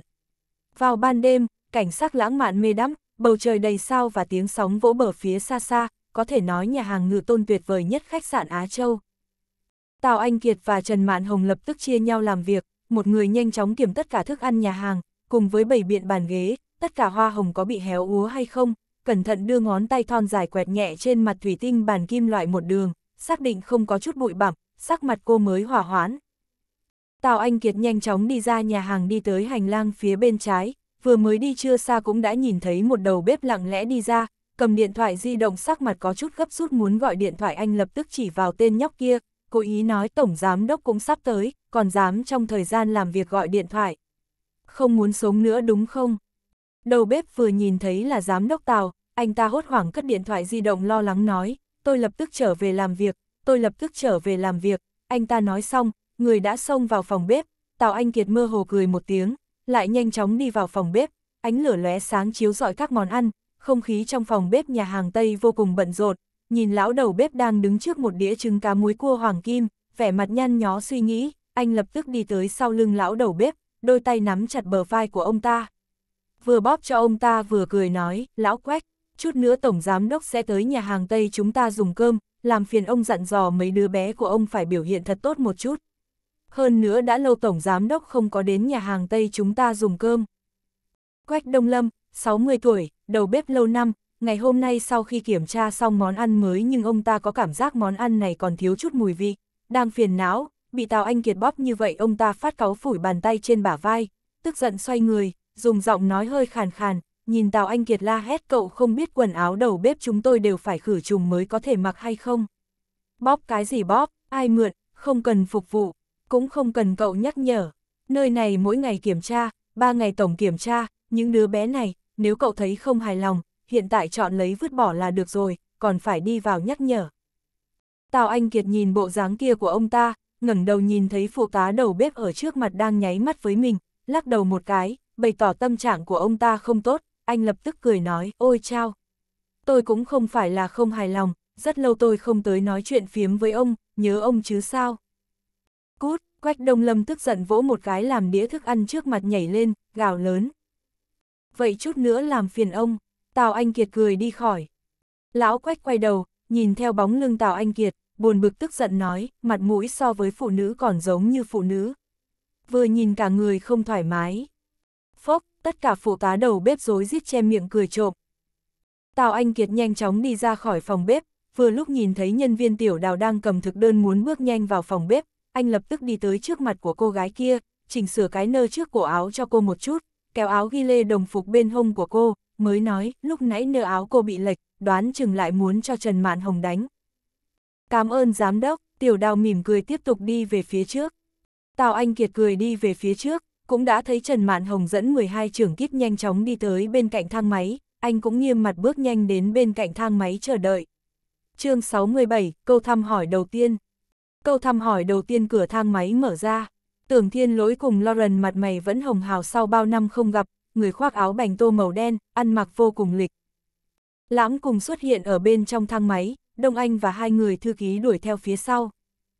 Tổng Giám đốc, Lauren Tiên Sinh, chào mừng ngài, quản lý nhà hàng cùng tất cả nhân viên đều rối rít vui vẻ khom lưng cúi đầu, cung kính gọi nhỏ, phải biết, Lauren là chuyên gia pha rượu hàng đầu của khách sạn Á Châu cũng là người phụ trách chủ trì buổi tiệc tối long trọng hôm nay. Ông ta đã từng phục vụ cho hơn 50 nhà lãnh đạo tối cao và hoàng tử trên toàn thế giới, bao gồm rất nhiều nguyên thủ quốc gia và quan chức cao cấp, là người tưởng thiên lỗi tin cậy. Ba năm trước đây, bởi vì khứu giác của Lauren đột nhiên không nhạy, bất đắc dĩ buộc phải rời khỏi khách sạn, sau 3 năm, tình trạng thân thể và khứu giác dần dần hồi phục, tưởng thiên lỗi nhiều lần liên lạc với ông ta, đưa ra thành ý muốn mời, thậm chí ở trong thành phố, thu mua ba nhà hàng Pháp cao cấp, cộng thêm tòa biệt thự tặng cho Lauren để cho ông ta cùng người nhà có thể an tâm đoàn tụ ở Trung Quốc, cũng hy vọng tương lai ông ta có thể đào tạo ra nhiều hơn nhân tài ưu tú cho sự nghiệp của khách sạn. Lauren vẫn tình thâm nghĩa dày với tưởng thiên lỗi, cuối cùng sau 3 năm quyết định trước lúc bắt đầu trận đấu sàng lọc chuyên gia rượu đỏ của khách sạn, nhanh chóng chạy về giúp tưởng thiên lỗi một tay. Lauren tiên sinh, nhiều năm không gặp mặt mày vẫn hồng hào, tinh thần phấn chấn, giống như xích Hà Châu lên men, càng vô cùng quyến rũ. Tưởng thiên lỗi hơi cười giơ tay, hết sức thân sĩ mời Lauren đi ra thang máy, hai người cùng nhau đi tới nhà hàng Tây. Lauren mỉm cười, vừa đi về phía nhà hàng Tây, vừa nói tưởng thiên lỗi, tưởng tổng giám đốc tiến triển cực nhanh, tôi mới rời khỏi 3 năm, tập đoàn khách sạn Á Châu chúng ta đã lên đỉnh cao, chứng minh năng lực của tổng giám đốc như rồng cuốn hổ trồm A. Có thể cùng ngài hợp tác thật sự là vinh hạnh của tôi. Hai người cùng nở nụ cười, bước vào nhà hàng Tây sang trọng, thấy tấm màn lụa màu vàng gần cửa sổ, chỉ kéo xuống 8 phần, bảo đảm ánh sáng phòng ăn êm dịu nhất. Một số khách đang ngồi trước gần 50 hoa bách hợp ở giữa phòng ăn, vừa uống rượu đỏ, vừa nhìn hoa bách hợp xinh tươi trước mặt. Vẻ mặt Trần Mạn Hồng tươi cười, cẩn thận dẫn Tưởng Thiên Lỗi và Lauren đi về phía một phòng VIP trang nhã ở lầu 2. Tưởng Thiên Lỗi giơ tay, biết Lauren thích cảnh biển, liền tự mình chọn một vị trí tốt nhất gần cửa sổ, có thể nhìn thấy cảnh biển mênh mông, trong lúc ăn cơm ở nơi này. Trần Mạn Hồng và Tào Anh Kiệt lập tức phân chia ra ở trước và sau hai bên bàn ăn, đôi tay vịn nhẹ vào tấm gấm màu vàng trên thành ghế, khẽ kéo ghế dựa ra, tưởng thiên lỗi là Lauren cùn lịch đưa tay mời đối phương ngồi xuống rồi buông lỏng cúc áo ngồi vào chỗ. Cát lệ dẫn nhân viên phục vụ đưa tới khăn ăn màu trắng đã gấp thành hình hoa mẫu đơn, dọc theo mép khăn ăn, dùng thủ công tô hàng thượng đẳng thêu cánh hoa mẫu đơn màu hồng phấn, thỉnh thoảng điểm một chút màu tím, giống như khăn ăn chưa một chút mùi thơm. Ý nghĩa xuất từ câu ngạn ngữ Trung Quốc, tặng hoa cho người, tay giữ lại dư hương. Hai nhân viên phục vụ khác lập tức đưa lên ba cái ly thủy tinh tulip chân cao đựng nước nóng, nước đá và nước lọc, cẩn thận đặt xuống ở bên cạnh tưởng thiên lỗi và Lauren. Lúc nhân viên phục vụ bận rộn, Lauren ngẩn đầu nhìn Trần Mạn Hồng và Tào Anh Kiệt mỉm cười nói, quản lý Trần và giám đốc Tào 3 năm không thấy, vẫn là một người xinh đẹp duyên dáng động lòng người, một người vô cùng đẹp trai, lúc ấy tôi còn tưởng rằng các người là tài tử gia nhân, có thể trở thành đôi tình nhân đầu tiên của nhà hàng chúng ta đấy.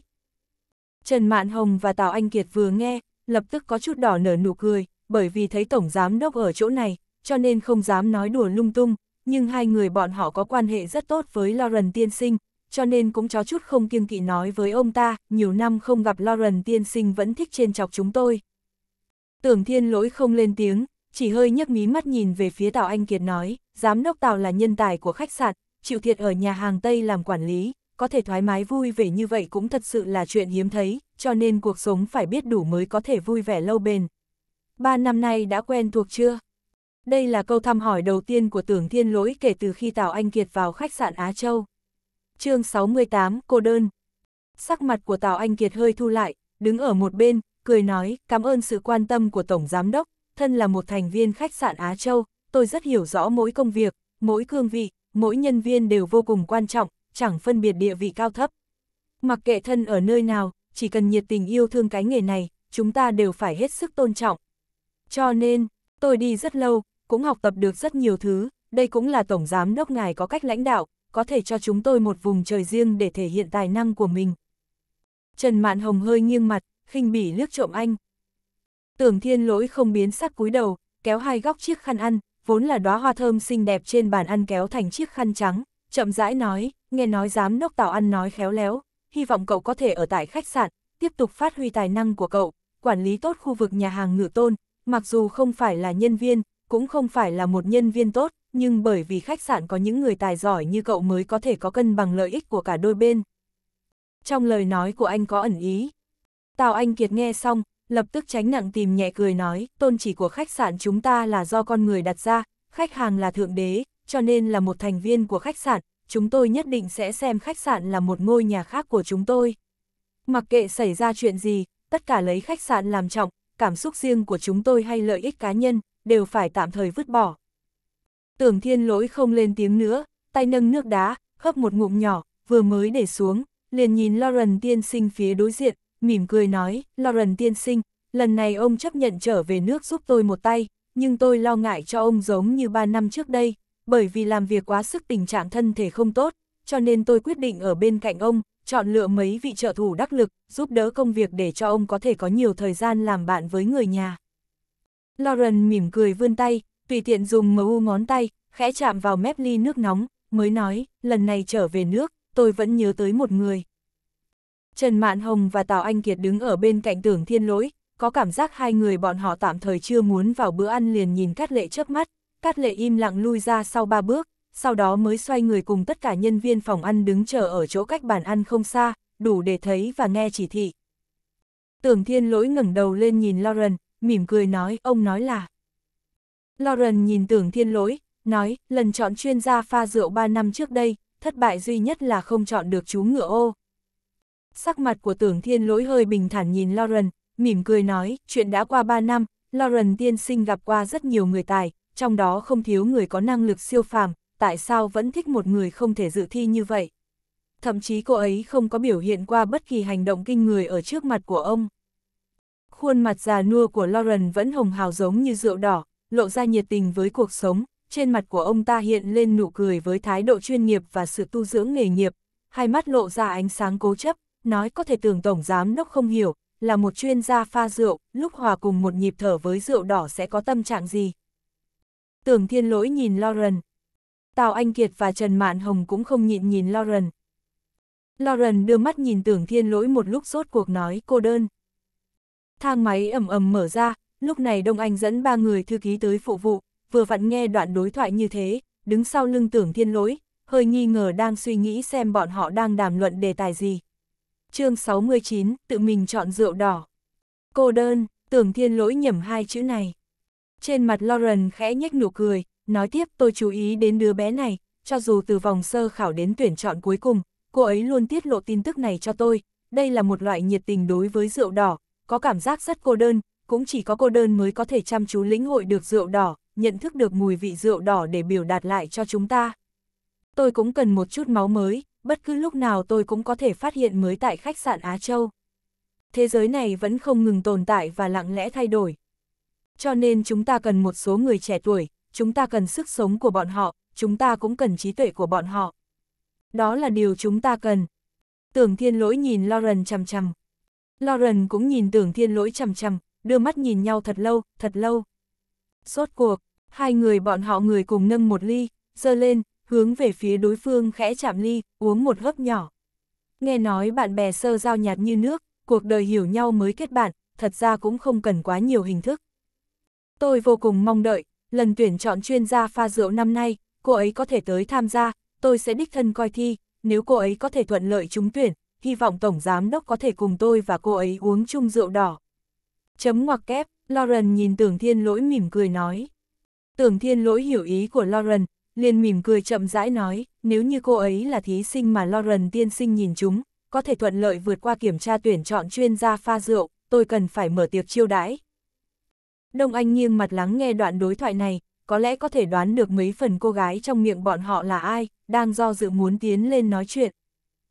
Vào lúc này, Tào Anh Kiệt mỉm cười dẫn hai nhân viên chuyển món ăn đang bưng chiếc khay màu vàng đi tới, bảo nhân viên phục vụ cẩn thận đem hai bản thực đơn món ăn màu đỏ thật cao nhã, chuẩn mực nhẹ nhàng đặt xuống ở trước mặt của Lauren và tưởng thiên lỗi, rồi tự mình đặt xuống ba cái ly thủy tinh ở trước mặt hai người, đưa lên đĩa thủy tinh kiểu lá sen, chiếc đĩa nhẹ nhàng nổi lên vài cành sen và một đóa màu đỏ. Lauren tiên sinh đường dài vất vả mệt nhọc, nhất định bây giờ cũng đói rồi, sau khi dùng cơm tới khách sạn nghỉ ngơi trước một chút, bữa tiệc tối nay của Thủ tướng, ông cũng không cần ra mặt quan tâm. Tưởng thiên lỗi không có phát hiện Đông Anh khác thường, cầm lấy thực đơn, vừa mở ra, vừa mỉm cười nói. No, chấm ngoặc kép, Lauren mỉm cười nói, khó được trở lại liền gặp phải buổi tiệc lớn như vậy, tối nay nhất định phải tự mình xem nhân viên khách sạn chúng ta trưởng thành trong 3 năm qua. Tưởng thiên lỗi biết rõ tính tình của Lauren cũng không từ chối, chỉ mỉm cười giơ tay, nhìn ông ta nói, mời chọn món ăn. Lauren mỉm cười gật đầu, tay đặt lên thực đơn tại trước bàn, ngẩng đầu nhìn Trần Mạn Hồng, hỏi quản lý Trần, lúc này lão đầu bếp thế nào rồi? Trần Mạn Hồng lập tức mỉm cười nói, tốt, rất tốt, khó được ngài nhớ tới nhưng hôm nay tâm trạng của ông ấy không quá tốt, bởi vì ăn thử món ăn mới không quá lý tưởng. Ồ, chấm hỏi ngoặc kép, Lauren nghe vậy rất hứng thú nhìn tưởng thiên lỗi lặng lẽ mỉm cười, ông ta cũng cười nói, nói lão đầu bếp đưa lên hai phần món ăn mới hôm nay, tôi và tổng giám đốc nếm thử một chút, ngồi máy bay hơn 10 giờ thật sự miệng cũng rất nhạt, vừa lúc thích hợp trứng cá muối. Trần Mạn Hồng có chút do dự, bởi vì lão đầu bếp quét thử món ăn mới không thành công, chưa bao giờ cho người ngoài thưởng thức, lúc cô đang do dự nhìn thấy Tào Anh Kiệt nhìn mình trước mắt, ngay lập tức cô mỉm cười gật đầu nói, vâng. Cô nói xong, lập tức lui về phía sau mấy bước mới xoay người tự mình đi về phía phòng bếp. Tào Anh Kiệt mỉm cười đứng ở giữa bàn ăn, nhìn tưởng thiên lỗi và Lauren nói, Tổng Giám Đốc, Lauren tiên sinh, chuyên gia pha rượu lập tức đến ngay, xin hỏi các vị có ý muốn dùng rượu đỏ không? Hãy để cho chuyên gia pha rượu tự mình chọn lựa vị rượu đỏ ngon nhất cho các vị.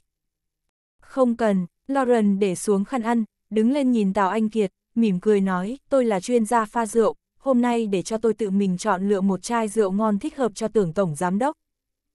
Tưởng thiên lỗi nhìn Lauren hào hứng như vậy cũng để xuống khăn ăn, lịch sự đứng lên, nhẹ cài lại cúc áo âu phục, nói tôi cùng Lauren tiên sinh đi một chuyến đến hầm rượu. Không cần, nhà hàng ngự tôn của chúng ta có rượu đỏ và sâm banh rất ngon.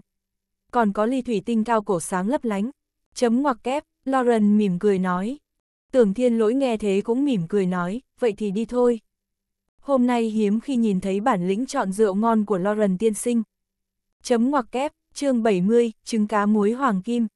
Trần Mạn Hồng vừa mới bước vào phòng ăn liền nhìn thấy bóng người thoáng qua, cô sửng sốt nhìn đến vị trí gần cửa sổ trống không, chỉ có Đông Anh và ba người thư ký vẫn ở tại vị trí bên cạnh, cô ngạc nhiên hỏi nhân viên phục vụ bên cạnh Tổng Giám Đốc và Lauren tiên sinh đâu.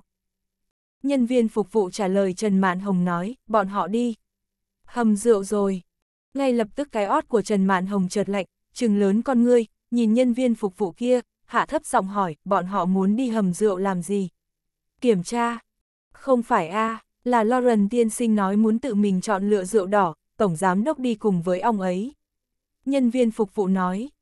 Trần Mạn Hồng thở hốc vì kinh ngạc, cảm giác sau khi đường khả hình đến, lúc nào cũng muốn đạp phải ngòi nổ, cô lập tức bước nhanh đi theo, xông vào trước quầy ba phía sau nhà hàng, lập tức nhìn thấy Tổng Giám Đốc và Lauren đang đi về phía hầm rượu, vừa cười vừa nói chuyện, tất cả nhân viên phục vụ và nhân viên làm việc ở phía sau, nghiêm túc đứng ở một bên không dám lên tiếng, Tào Anh Kiệt và Cát Lệ cẩn thận cùng với Tổng Giám Đốc đi về phía hầm rượu, lâu lâu, giải thích một chút phương pháp bảo quản cà phê ở phía sau nhà hàng. Trên chán Trần Mạn Hồng dịn mồ hôi, vừa cuống quýt lau mồ hôi trên chán, vừa cố giữ bình tĩnh đi tới phục vụ. Hầm rượu.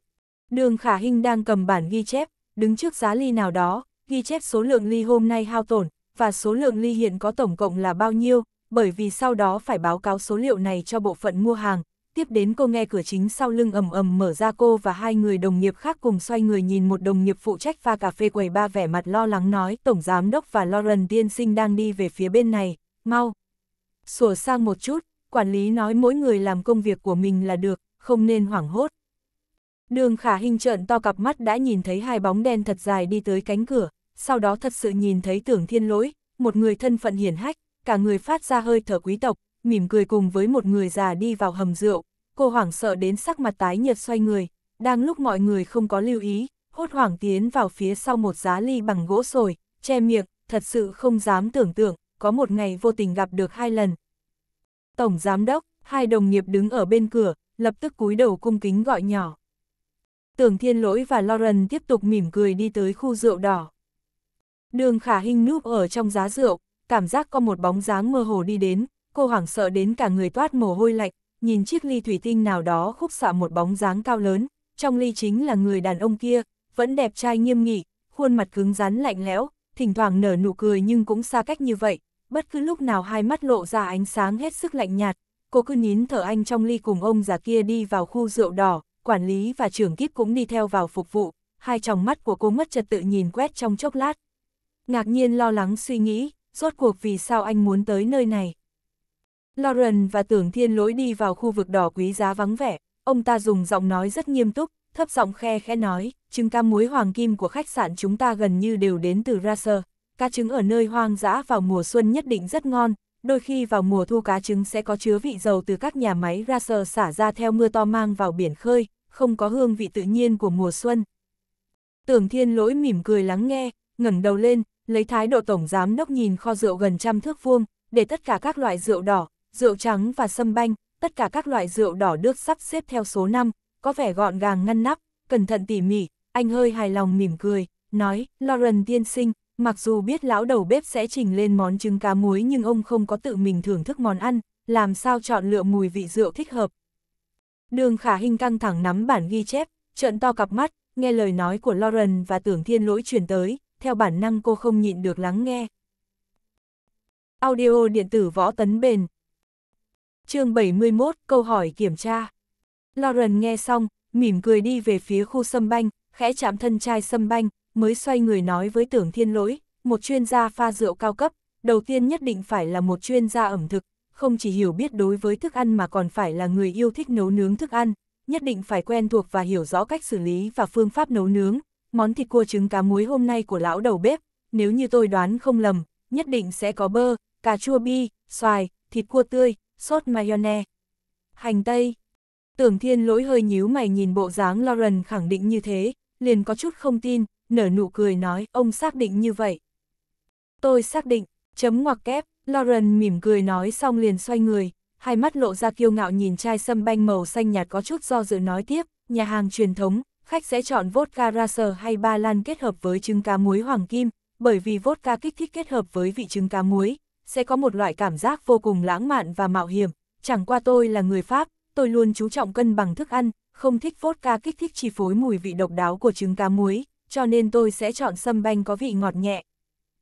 Ông ta nói xong cũng đã giơ tay, nhận lấy bao tay trắng trưởng kíp cắt lệ đưa đến trước mặt mình, ông lão này vừa tự mình đeo bao tay trắng, nghiễm nhiên từ khách quý của Tổng Giám Đốc trở thành một thành viên trong khách sạn, ông ta vừa đưa bàn tay già nua nhưng mạnh khỏe vào trong bao tay trắng, vừa xoay người nhìn cát lệ, mỉm cười nói tôi đố cô. Cát lệ vừa nghe lập tức căng thẳng, hơi thở có chút không thông, hoảng sợ đến sắc mặt trắng bệch, chỉ sợ Lauren ở trước mặt của Tổng Giám Đốc hỏi mình chuyện rất khó khăn, cũng không dám nói nhiều, gật đầu, bình tĩnh nói, vâng. Bên ngoài khu vực rượu đỏ, đường khả hình cũng chừng lớn con ngươi, hơi nghiêng đầu lắng nghe câu hỏi của Lauren. Rốt cuộc Lauren đeo xong bao tay trắng, xoay người nhìn các loại sâm banh, bắt đầu từ nhãn hiệu màu vàng nhạt đến màu vàng đậm, màu hổ phách, còn có loại sâm banh màu hồng nhạt vô cùng đặc biệt. Ông ta vừa chậm rãi xem các loại sâm banh, vừa hỏi, năm của sâm banh, có ý nghĩa gì? Trần Mạn Hồng và Tào Anh Kiệt căng thẳng nhìn về phía Cát Lệ, nhất là Trần Mạn Hồng, cắn răng nghiến lợi siết chặt 10 ngón tay của mình, đang suy nghĩ nếu như cô đáp không được, liền cắt đứt cổ họng của cô. Tưởng thiên lỗi cũng hơi ngẩng đầu, sắc mặt có chút nghiêm túc. Cát lệ mở chừng hai mắt, cố gắng nhớ lại quá trình huấn luyện nào đó, có chút căng thẳng nói, sâm banh chia làm hai loại gồm, sâm banh 05 và sâm banh lâu năm. Mùi của sâm banh 05, ở trên nhãn hiệu chai rượu không có ghi chú năm, dùng loại rượu có thời hạn khác nhau điều chế thành, bình thường loại 05 mùi cọ này, phương thức sản xuất tự do cho nên có thể sản xuất nhiều loại phong cách sâm banh nhưng sâm banh lâu năm ở trên chai rượu có ghi chú số 5, chứng tỏ chỉ có thể dùng quả nho trong cùng một năm để điều chế riêng, bởi vì trong cùng một năm này, quả nho chịu ảnh hưởng các loại nhân tố thời tiết, cho nên không thể điều chế ra sâm banh có phong cách cố định, mùi vị sẽ căn cứ sự biến đổi khác nhau trong năm. Trần Mạn Hồng và Tào Anh Kiệt thở phào nhẹ nhõm. Hai mắt tưởng thiên lỗi hơi hiện lên nụ cười thỏa mãn. Lauren nghe xong khẽ mỉm cười, nói thông thường, sâm banh lâu năm sản xuất ở những năm nào. Cát lệ ngẩng đầu lên có chút căng thẳng nhìn Lauren, nhân mày, khẽ cắn môi dưới, cố gắng nhớ lại, mỗi chuyên gia pha rượu lựa chọn sâm banh đi ra phòng ăn, có những loại năm nào nhưng cô nghĩ như thế nào cũng nghĩ không ra. Lauren chờ đợi cô. Tưởng thiên lỗi cũng hơi quay mặt sang, trầm ngâm nhìn cô. Cát lệ muốn khóc. Trần Mạn Hồng nhìn chằm chằm cát lệ vô dụng. Lauren nhìn bộ dáng cát lệ như vậy cũng biết đáp án, có lẽ làm khó cô, liền hứng thú nói, bảo nhân viên phụ trách hầm rượu đi vào trả lời một chút. Người nào trả lời được, tôi có phần thưởng. chương 72, Phượng Hoàng cùng bay. Hai người nhân viên quầy rượu vừa nghe Lauren nói ở bên trong, lập tức hoảng sợ đến sắc mặt tái nhợt, nhất là Tiểu Nhu, hôm nay mới bị phạt vì chuyện sơn móng tay, chạy đến quầy rượu rửa vài ly, không ngờ mới vào chưa được mấy giờ, liền đụng phải chuyện này, nếu ở ngay trước trước mặt Tổng Giám Đốc, trả lời không được, vậy mình nhất định phải chết. Còn có một đồng nghiệp nữa đâu, đường gì đó, chấm ngoặc kép, An Văn khe khẽ hỏi Tiểu Nhu, không phải cô muốn cùng nhau chết, cô nghĩ đi vào chung, tất cả mọi người đáp không được, có lẽ sẽ được tha thứ, bởi vì các cô chỉ phụ trách rửa ly, lau ly và treo ly, hơn nữa khách sạn Á Châu phân công cụ thể rõ ràng, từng người chỉ chịu trách nhiệm công việc của mình, dường như đã trở thành quy củ. Hư, chấm ngoặc kép, Tiểu Nhu lập tức đặt ngón trỏ ở bên môi, thở nhẹ, khe khẽ nói, đường khả hình đó là từ trên trời rơi xuống, không có việc gì không cần dắt cô ấy ra ngoài, đáp không được, nhiều lắm cũng chỉ bị đánh vài roi, nếu dẫn cô ấy ra ngoài, có thể sẽ bị chặt đứt ngón tay. An Văn vừa nghe, lập tức há to mồm, nhìn Tiểu Nhu nói thiệt giả. Tiểu Nhu nghiêm túc gật đầu, cô là kẻ ngốc nổi tiếng ở nhà hàng ngựa tôn, thường gây họa như ăn cơm bữa nhưng là cô có một ưu điểm mà Mạn Hồng vô cùng ưa thích chính là cô hết sức trung thành và cố chấp. Lúc này Trần Mạn Hồng đứng ở khu vực rượu đỏ và ly, nhìn thấy hai người An Văn và Tiểu Nhu còn đang tán gẫu, cô hận nghiến răng nghiến lợi, hé môi, khe khẽ gọi, vẫn còn ở bên ngoài làm gì. Tổng Giám Đốc và Lauren tiên sinh đã đợi các người hơn một phút rồi, ngứa ra đúng không? An Văn vừa nghe xong, vẻ mặt khổ sở, ngay lập tức cúi đầu đi vào trong, không ngờ Tiểu Nhu vừa mới đi qua một giá ly, đột nhiên sau áo bị người lôi kéo, cô kinh ngạc quay đầu nhìn thấy đường khả hinh nấp ở giá ly, gấp gáp lấy ra tai nghe vô tuyến chuyên dụng của khách sạn nhét vào trong tai cô, cô ngạc nhiên nhìn đường khả hinh, vừa muốn nói gì, đường khả hinh im lặng căng thẳng đẩy cô đi ra ngoài. Tiểu Nhu loạn choạng một chút, suýt làm rơi chiếc ly trên giá cao hai thước, ngạc nhiên ấn nhẹ tai nghe nhìn đường khả hinh. Đường khả hinh ra dấu cho cô nhanh đi vào, cuối cùng ẩn núp vào một giá ly, không hề ra ngoài nữa. Tiểu Nhu chỉ ngây ngốc nghĩ tới động tác vừa rồi của đường khả hinh, thật sự không hiểu nhưng cô vẫn bước vào khu vực rượu đỏ, ngẩng đầu lên lập tức nhìn thấy Lauren tiên sinh và tổng giám đốc đứng chung một chỗ, đang đưa mắt nhìn sâm banh trước mặt, hai vị quản lý đứng chờ ở một bên không dám lên tiếng, Cát Lệ đang đỏ bừng cả khuôn mặt đứng ở một bên, An Văn hoảng sợ không nói ra lời, không khí hết sức căng thẳng, cô cũng không khỏi sợ hãi vội vàng đi tới, suy nghĩ đợi chút nữa nói không hiểu rõ lắm là tốt nhỉ. Hay không hiểu, hay chưa hiểu, hay là suy nghĩ chưa ra. Lauren mỉm cười nhìn An Văn và Tiểu Nhu, lập lại câu hỏi mới vừa rồi, nói, đố các cô về sâm banh mùi cỏ, không cần căng thẳng như vậy. Vâng, chấm ngoặc kép, Tiểu Nhu và An Văn lập tức gật đầu, căng thẳng đáp lời. Lauren đưa ngón giữa đeo bao tay trắng, khẽ chạm vào một chai sâm banh có ghi năm, mới chậm rãi hỏi, bình thường sâm banh lâu năm sản xuất vào các năm nào. Trần Mạn Hồng và Tào Anh Kiệt tuyệt vọng nhìn hai người bọn họ. An Văn khẽ cắn môi dưới, nhíu mặt, không dám lên tiếng. Vẻ mặt Tiểu Nhu cũng đau khổ, vừa mới muốn nói không rõ lắm, đột nhiên trong tai nghe truyền đến tiếng của đường khả hình êm ái nói 82. À, Tiểu Nhu đột nhiên ngẩng đầu lên, kinh ngạc lên tiếng. Mọi người trong khu vực rượu sâm banh cùng hơi nghi ngờ nhìn cô, ngay cả tưởng thiên lỗi, một nhân vật cao quý như vậy, hôm nay vì Lauren đi vào một nơi chật hẹp như thế cũng không khỏi giữ lại một chút ánh mắt, nhìn cô gái trước mặt. Trần Mạn Hồng căng thẳng nhìn vẻ mặt Tiểu Nhu đột nhiên co giật, đang suy nghĩ cô bị hoảng sợ đến điên rồi phải không? Không cần căng thẳng, tôi biết rõ năm, tôi cho cô biết, cô nói theo tôi là được rồi. Giọng nói của đường khả hình lại truyền tới bên tai Tiểu Nhu. Lúc này Tiểu Nhu mới hơi hồi hồn nhìn mọi người đang tò mò nhìn mình, mặt của cô đỏ lên, con người xoay tròn, loáng thoáng lẩm bẩm khẽ nói 8. 8, 82. Lauren nghe xong, hài lòng cười nói ừ, còn gì nữa không? 83, 85, 86, 88, 89, 90, 96. Chấm ngoặc kép, giọng nói của đường khả hình truyền đến. Tiểu Nhu chớp mắt một cái, mới căng thẳng nuốt một ngụm nước bọt, nói theo các năm mà đường khả hình nói, 83, 85, 86, 88, 89, 90, 96. Trần Mạn Hồng và Tào Anh Kiệt khiếp sợ ngẩng đầu nhìn Tiểu Nhu. Ngược lại Lauren thật sự có chút giật mình nở nụ cười, nhìn cô nói, đáp thật tốt. Tưởng thiên lỗi cũng hơi lộ ra vẻ mặt hài lòng nhìn cô. Đối với sâm banh cô có hiểu biết nhất định, vậy cô nói cho tôi biết, sâm banh lâu năm, chọn năm sản xuất, có yêu cầu gì đặc biệt. Lauren nhìn Tiểu Nhu, mỉm cười hỏi tiếp, chương 73, phần thưởng. Tiểu Nhu căng thẳng khẽ chớp trong mắt, theo bản năng lắng nghe một âm thanh khác trong lỗ tai truyền tới. Chấm ngoặc kép, dưới tình huống bình thường, lựa chọn thời hạn của sâm banh là một quá trình chờ đợi khá dài, cũng không phải mỗi năm đều thích hợp sản xuất sâm banh, chỉ ở một năm nào đấy, gió, sương, mưa, tuyết, ánh mặt trời, cùng với điều kiện hoàn cảnh địa lý cho phép, chuyên gia trưng cất rượu hàng đầu nhìn thấy quả nho trưởng thành và mùi vị ổn định nhất mới chấp nhận, nhưng những năm sau này chờ đợi quá khó khăn, năm nay nước mưa nhiều một chút, sang năm gió tuyết hơi lớn, qua một năm nữa, vào sáng sớm mới phát hiện sương giá gần như phá hủy cả vườn nho. Gần 20 năm qua, ánh mặt trời sung túc nhất, tốt đẹp nhất, thành phần đường cao nhất trong rượu sâm banh, thật ra cũng chỉ có 4 năm 1988, 1989, 1990, 1996.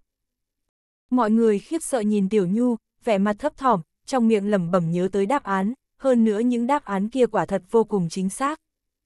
Tào Anh Kiệt vươn tay, kéo kéo một góc ống tay áo Trần Mạn Hồng, khe khẽ nói, này, có phải con bé này bị quỷ nhập vào người rồi phải không? Trần Mạn Hồng ngơ ngác nhìn Tiểu Nhu bình thường ngốc nghếch, giống như vào lúc này biến thành người khác vậy, trả lời những vấn đề này, vô cùng không sai lệch. Lauren hơi giật mình nhìn cô gái trước mặt, nói cô đi tới. Cho tôi nhìn cô một chút. Tiểu Nhu hoảng sợ đến toàn thân đổ mồ hôi lạnh nhưng vẫn nuốt một ngụm nước bọt, trong ánh mắt kinh ngạc của mọi người, cất bước đi đến trước mặt của Lauren, hỏi khẽ, ngài có gì căn dặn. Lauren nhìn kỹ cô gái trước mặt, ánh mắt rất căng thẳng và hoảng sợ, vẻ mặt hiện lên đè nén, cũng không có nhìn ra bất kỳ sức đột phá nào, ông ta thật sự không thể tin được, nở nụ cười, hơi nghiêng người vươn tay lắc nhẹ chai xanh banh đặt ở khu trên kệ rượu, tiếp tục hỏi, một chút nữa ăn với trứng cá muối, cô cảm thấy nên kết hợp với sâm banh năm nào thì tốt. Tiểu Nhu chớp mắt một cái, tức khắc luống cuống, ngẩng đầu nhìn sâm banh trước mặt, nằm yên ở nơi đó, có lâu năm, không có năm, xanh đậm, xanh nhạt, vàng, hồng nhạt, còn có lam nhạt. Cô khẽ cắn môi dưới, cúi đầu, không biết nên đáp làm sao. Tất cả mọi người đang im lặng chờ cô. Nét mặt Trần Mạn Hồng đang nghiên cứu nhìn cô. Tưởng thiên lỗi cũng có chút để ý, từ nghiêng mặt nhìn cô gái trước mặt. Giọng nói của đường khả hình chậm rãi truyền đến, trứng cá muối sơ chế, nếu như có bơ, cà chua bi, xoài, thịt cua tươi, sốt mayonnaise, hành tây, như vậy món ăn khai vị này mùi vị vô cùng sinh động, Lauren tiên sinh chú trọng cân bằng thực phẩm, vậy đề nghị ngài lựa chọn sâm banh năm 1996 của nhà máy rượu Tây Á, bởi vì nhà máy rượu Tây Á thành tựu trăm năm, thời tiết hoàn mỹ nhất. Từng năm có mưa nhẹ, ánh mặt trời đầy đủ, lượng đường vào thân cây, quả nho đầu tiên bắt đầu chậm rãi rơi xuống, cả vườn nho đều sinh động và tươi tốt, có chứa mùi vị ngọt ngào của gió. Một ngày nào đó, quả nho trương thành như mong đợi thì chuyên gia trưng cất rượu hái xuống quả nho đầu tiên, bỏ vào trong miệng thưởng thức, rốt cuộc nở nụ cười rất vừa ý. Hơn nữa, một chút nữa ngài uống sâm banh không cần ướp lạnh quá 30 phút, bởi vì trứng cá muối ướp lạnh đã giảm không ít nhiệt độ thức ăn, cho nên thời gian ướp lạnh sâm banh 25 phút là tốt nhất. Lần này mọi người hoàn toàn kinh hãi. Trần Mạn Hồng và Tào Anh Kiệt trừng lớn con ngươi, rốt cuộc nhìn con bé trước mặt không thể tin nổi. Lauren giống như phát hiện vùng đất mới nhìn Tiểu Nhu, cười vui vẻ. Tưởng Thiên Lỗi cũng nhìn Tiểu Nhu, ánh mắt càng ngày càng chăm chú. Quản lý Trần, Giám đốc Tào, Lauren không khỏi cảm thán quay lại nhìn hai người Trần Mạn Hồng và Tào Anh Kiệt, tán thưởng cười nói, không nghĩ tới, phòng ăn ngự tôn rất nhiều nhân tài, một nhân viên ở hầm rượu có thể hiểu biết sâu sắc đối với sâm banh và thức ăn. Xem ra quả nhiên các người có cách quản lý, không hổ là nhà hàng Tây điển hình A. Hôm nay kiểm tra một lần mới phát hiện khách sạn Á Châu của chúng ta thật là ẩn chứa nhiều nhân tài A. Tưởng thiên lỗi cũng hơi cười, xoay người nhìn Trần Mạn Hồng và Tào Anh Kiệt, hơi hài lòng nói, làm tốt lắm. Trần Mạn Hồng và Tào Anh Kiệt giống như lượng vé số chúng độc đắc, rất hả hê nở nụ cười nói cảm ơn Tổng Giám Đốc khích lệ. Không thể chỉ khích lệ. Chấm ngoặc kép, Lauren mỉm cười nói, tôi đã đồng ý đáp đúng có thưởng. Tưởng thiên lỗi nghe xong liền trầm ngâm suy nghĩ, rồi chậm rãi mở miệng nói, một nhân viên ưu tú cũng phải phối hợp với đồng nghiệp và cách lãnh đạo của cấp trên. Bắt đầu tháng này, phòng ăn ngự tôn ăn mỗi người tăng lương 10%, mà trong tháng này nhân viên được tăng ngày nghỉ 5 ngày, xem như khích lệ. chương 74, cùng nắm. Trong lúc đó, Tiểu Nhu hoảng sợ ngẩng đầu lên trợn to hai mắt nhìn tưởng thiên lỗi, cô muốn lắc đầu.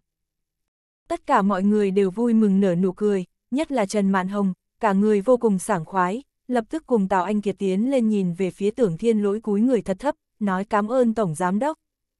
Tưởng thiên lỗi hơi cười nói, nên cảm ơn Lauren tiên sinh. Cảm ơn Lauren tiên sinh. Trần Mạn Hồng và Tào Anh Kiệt cùng tất cả nhân viên trong hầm rượu hưng phấn nhìn về phía Lauren cảm ơn.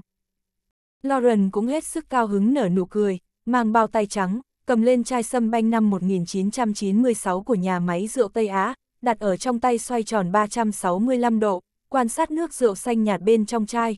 Lúc này nhân viên phục vụ mỉm cười đẩy một chiếc xe thức ăn tới, xe thức ăn để một thùng đá màu đỏ, bên trong đựng viên đá hình vuông, Lauren đem chai sâm banh bỏ vào trong thùng đá, nhân viên phục vụ lập tức nhấn máy tính giờ thùng đá, cung kính hỏi, xin hỏi Lauren tiên sinh, thời gian ướp lạnh bao lâu?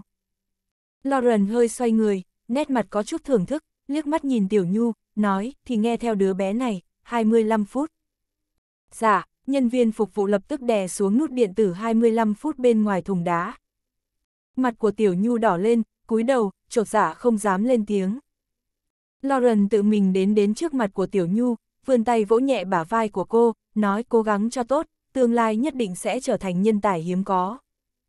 Trên mặt Tiểu Nhu lộ ra vẻ mặt bối rối, xấu hổ đến hận không được tìm động chui vào, nhưng lúc này không dám biểu lộ ra, chỉ đành phải nhắm mắt, cúi đầu, vẻ mặt đau khổ nói, dạ. Cảm ơn ngài khích lệ, tôi sẽ nỗ lực. Đường khả hình đứng dán vách tường tại cửa, nghe những lời này, hai mắt dần dần đỏ lên, nhớ lại mình đã từng dưới ánh mặt trời nóng bỏng, ngẩng khuôn mặt tươi cười rực rỡ, cởi xe đạp, chứa đầy mơ ước bay theo, thậm chí còn có thể cảm nhận được lúc ấy mình khờ dại, uống rượu đỏ, mùi vị còn lưu lại ở bên môi. Quản lý Trần và giám đốc tàu phải chăm sóc đứa bé này cho tốt, tương lai phải dựa vào lãnh đạo xuất sắc của các người. Chấm ngoặc kép, Lauren nói xong, cùng tưởng thiên lỗi mỉm cười đi ra khỏi khu vực rượu đỏ. Đường khả hình cảm thấy bước chân của mọi người từ khu vực đỏ rượu rời ra ngoài, cô nhanh chóng xoay người, vội tiến vào trong một giá ly ẩn núp. Lauren và tưởng thiên lỗi vừa mới đi ra, nhìn ly thủy tinh quý giá xinh đẹp ở trước mặt, dưới ánh đèn màu hồng, vô cùng trong suốt hấp dẫn, ông ta chợt cảm thấy vui vẻ, vừa đi về phía tủ ly sâm banh, vừa hỏi, gần đây phòng ăn ngự tôn có đưa tới ly sâm banh mới hay không? Trần Mạn Hồng có chút căng thẳng quét nhìn xung quanh, đang suy nghĩ đường khả hình trốn ở nơi nào, nghe Lauren hỏi, liền mỉm cười nói, chuyên gia thiết kế cảnh Đức vừa đưa tới tác phẩm mới nhất, ly sâm banh ngọc lan trắng, thiết kế dựa trên hoa ngọc lan trắng thay đổi màu sắc lãng mạn, cố ý thêm thân ly cao, càng thể hiện phong cách cao nhã độc đáo của nó, còn có tác phẩm tâm đắc của chuyên gia thiết kế Hoàng thất Anh Quốc, ly sâm banh trong suốt hình ống sáo, quan trọng phía dưới đáy ly thiết kế hoa lưu ly màu vàng đầy sang trọng và thanh lịch. Hả, Lauren khẽ đáp một tiếng, cảm thấy hết sức hứng thú cùng tưởng thiên lỗi đi về phía khu vực sâm banh, cố ý nhìn một chút. Đường khả hình núp ở bên trong, cẩn thận lắng nghe đối thoại của bọn họ, biết Lauren và tưởng thiên lỗi muốn đi tới phía này, ngay lập tức hoảng sợ đến sắc mặt tái nhợt, vội vàng khe khẽ di động bước chân, đi tới một tầng giá ly cao hai thước khác ở xa hơn. Tưởng Thiên Lỗi và Lauren vừa đi vào trong, vừa khẽ bàn luận việc tuyển chọn chuyên gia pha rượu lần này. Đường khả Hinh ngừng thở, một tay bưng chặt miệng, quay lại có thể nhìn thấy hai bóng dáng cao lớn, tiếp tục xoay người tiến đến gần chỗ của mình, trái tim của cô nhảy lên thình thịch, tiếp tục nhẹ đi về phía trái bên tránh khỏi. Không ngờ cô vừa muốn đi về phía trước nhưng nhìn thấy một bên mặt tưởng thiên lỗi xuất hiện tại giá ly cuối phía bên phải, sắp sửa xoay người đi về phía mình, cô giật mình, vừa muốn xoay người, không ngờ bởi vì xoay người quá mau, bả vai không tránh khỏi đụng vào cái ly tulip đối diện, trong đó có một cái ly ngọc lan trắng đột nhiên đứng không vững, ly thân nghiêng nghiêng rơi xuống. a à, đường khả hình khẽ kêu một tiếng, theo bản năng đưa hai tay ra, muốn chụp lấy cái ly thủy tinh, không ngờ sau lưng chợt ấm áp, có người ở phía sau nhanh chóng ôm chặt mình, đồng thời vươn tay cùng với mình nắm chặt cái ly thủy tinh kia. Đường khả hình mở chừng hai mắt, ngẩng đầu lên cũng không dám lên tiếng, chỉ nhìn bàn tay nhỏ bé của mình cùng cái ly sâm banh xinh đẹp, bị một bàn tay rất xinh đẹp của đàn ông nắm chặt, ngay cả có thể nhìn thấy đồng hồ Omega bạch kim đeo trên tay anh, dưới ánh đèn màu hồng lóe lên ánh sáng kim loại. Trái tim của cô chợt nhảy dựng, hoảng hốt tựa vào trong ngực của anh, không dám nhúc nhích. chương 75, cánh cửa trí nhớ một. Mọi người nghe tiếng động kinh ngạc vội vàng đi tới, nhìn thấy hình ảnh trước mắt, cũng sững sờ, hoảng sợ đến nói không ra lời. Bên giá ly treo vô số ly thủy tinh trong suốt muôn màu rực rỡ. Tưởng thiên lỗi ôm chặt đường khả Hinh vào trong ngực, lạnh lùng cùng với cô đưa hai tay ra, nắm cái ly sâm banh ngọc lan trắng, thân thể anh tản ra hơi thở mạnh mẽ, giống như ba năm trước đây, bao quanh cô thật chặt. Đường khả hình căng thẳng tựa vào trong ngực của anh, hoảng sợ cứng ngắc không thốt nên lời, chỉ nắm chặt ly sâm banh trong tay, nhìn ngón tay của anh bám thật chặt vào trên ngón tay của mình, chiếc nhẫn trên ngón trỏ của anh lóe lên sắc màu thật lấp lánh, cô không khỏi nhớ tới cái đêm nhiều năm trước, sau khi anh ép buộc hôn mình, vẫn muốn chờ người phụ nữ kia. Vẻ mặt tưởng thiên lỗi căng thẳng, nắm chặt đôi bàn tay nhỏ bé, hơi rũ mắt liếc nhìn cô gái tựa vào trong ngực. Đường khả hình thở gấp, nắm chặt trong tay ly sâm banh, cổ họng khô rát, theo bản năng cúi đầu lẩn tránh ánh mắt của anh. Hai tròng mắt tưởng thiên lỗi giống như dã thú phát ra ánh sáng vô cùng bén nhọn, lộ ra nghi ngờ cúi xuống muốn nhìn rõ cô gái trước người. Đường khả hình cảm giác khuôn mặt kiên nghị của anh, sắp gần sát má phải của mình, thậm chí cảm thấy hơi thở của anh thổi ra khí nóng hấp dẫn, cô hoảng sợ trái tim muốn nhảy khỏi lồng ngực, nhưng mặt sang bên lẩn tránh anh đưa mắt nhìn. Tưởng thiên lỗi cảm thấy cô hoảng sợ và trốn tránh, hơi thu lại ánh mắt nhưng vẫn ôm chặt cô, trầm giọng hỏi cô là ai? Tại sao không cẩn thận như vậy? Tôi, chấm ngoặc kép, đường khả hình nhất thời cảm thấy trong thân thể mình dâng lên một luồng hơi lạnh lẽo. Tổng Giám Đốc, chấm than ngoặc kép, Trần Mạn Hồng đột nhiên căng thẳng đi tới, nhìn tưởng thiên lỗi, miễn cưỡng nở nụ cười, nói cô ấy là nhân viên hầm rượu mới tới, hôm nay đi làm ngày đầu tiên, bởi vì nhát gan, kinh nghiệm chưa đủ, xin ngài tha thứ cho cô ấy. Cô ấy làm việc không cẩn thận như vậy, tôi nhất định dạy dỗ cô ấy thật tốt. Ánh mắt sắc bén của tưởng thiên lỗi chợt lóe, hơi nghi ngờ nói, nhân viên hầm rượu. Xoay người lại, đường khả hình hoảng sợ trợn to hai mắt, nhìn cái ly trước mặt phản chiếu gương mặt lạnh lùng của tưởng thiên lỗi vẫn giống như nhiều năm trước, vô tình tàn nhẫn, cô hoảng sợ đến trái tim run rẩy. ba năm sống đầu đường xó chợ, đã từng một lần đả kích tự tin của cô, thật vất vả cô mới từ kho hàng lạnh lẽo đi ra, nắm được một tia nắng mặt trời, đây là công việc cô thật vất vả mới lấy được, gần với rượu đỏ như thế, gần khách sạn như thế, gần hy vọng của cha như thế, hai mắt của cô run rẩy nhỏ lệ, biết rõ chỉ cần xoay người. Mình sẽ không còn gì cả.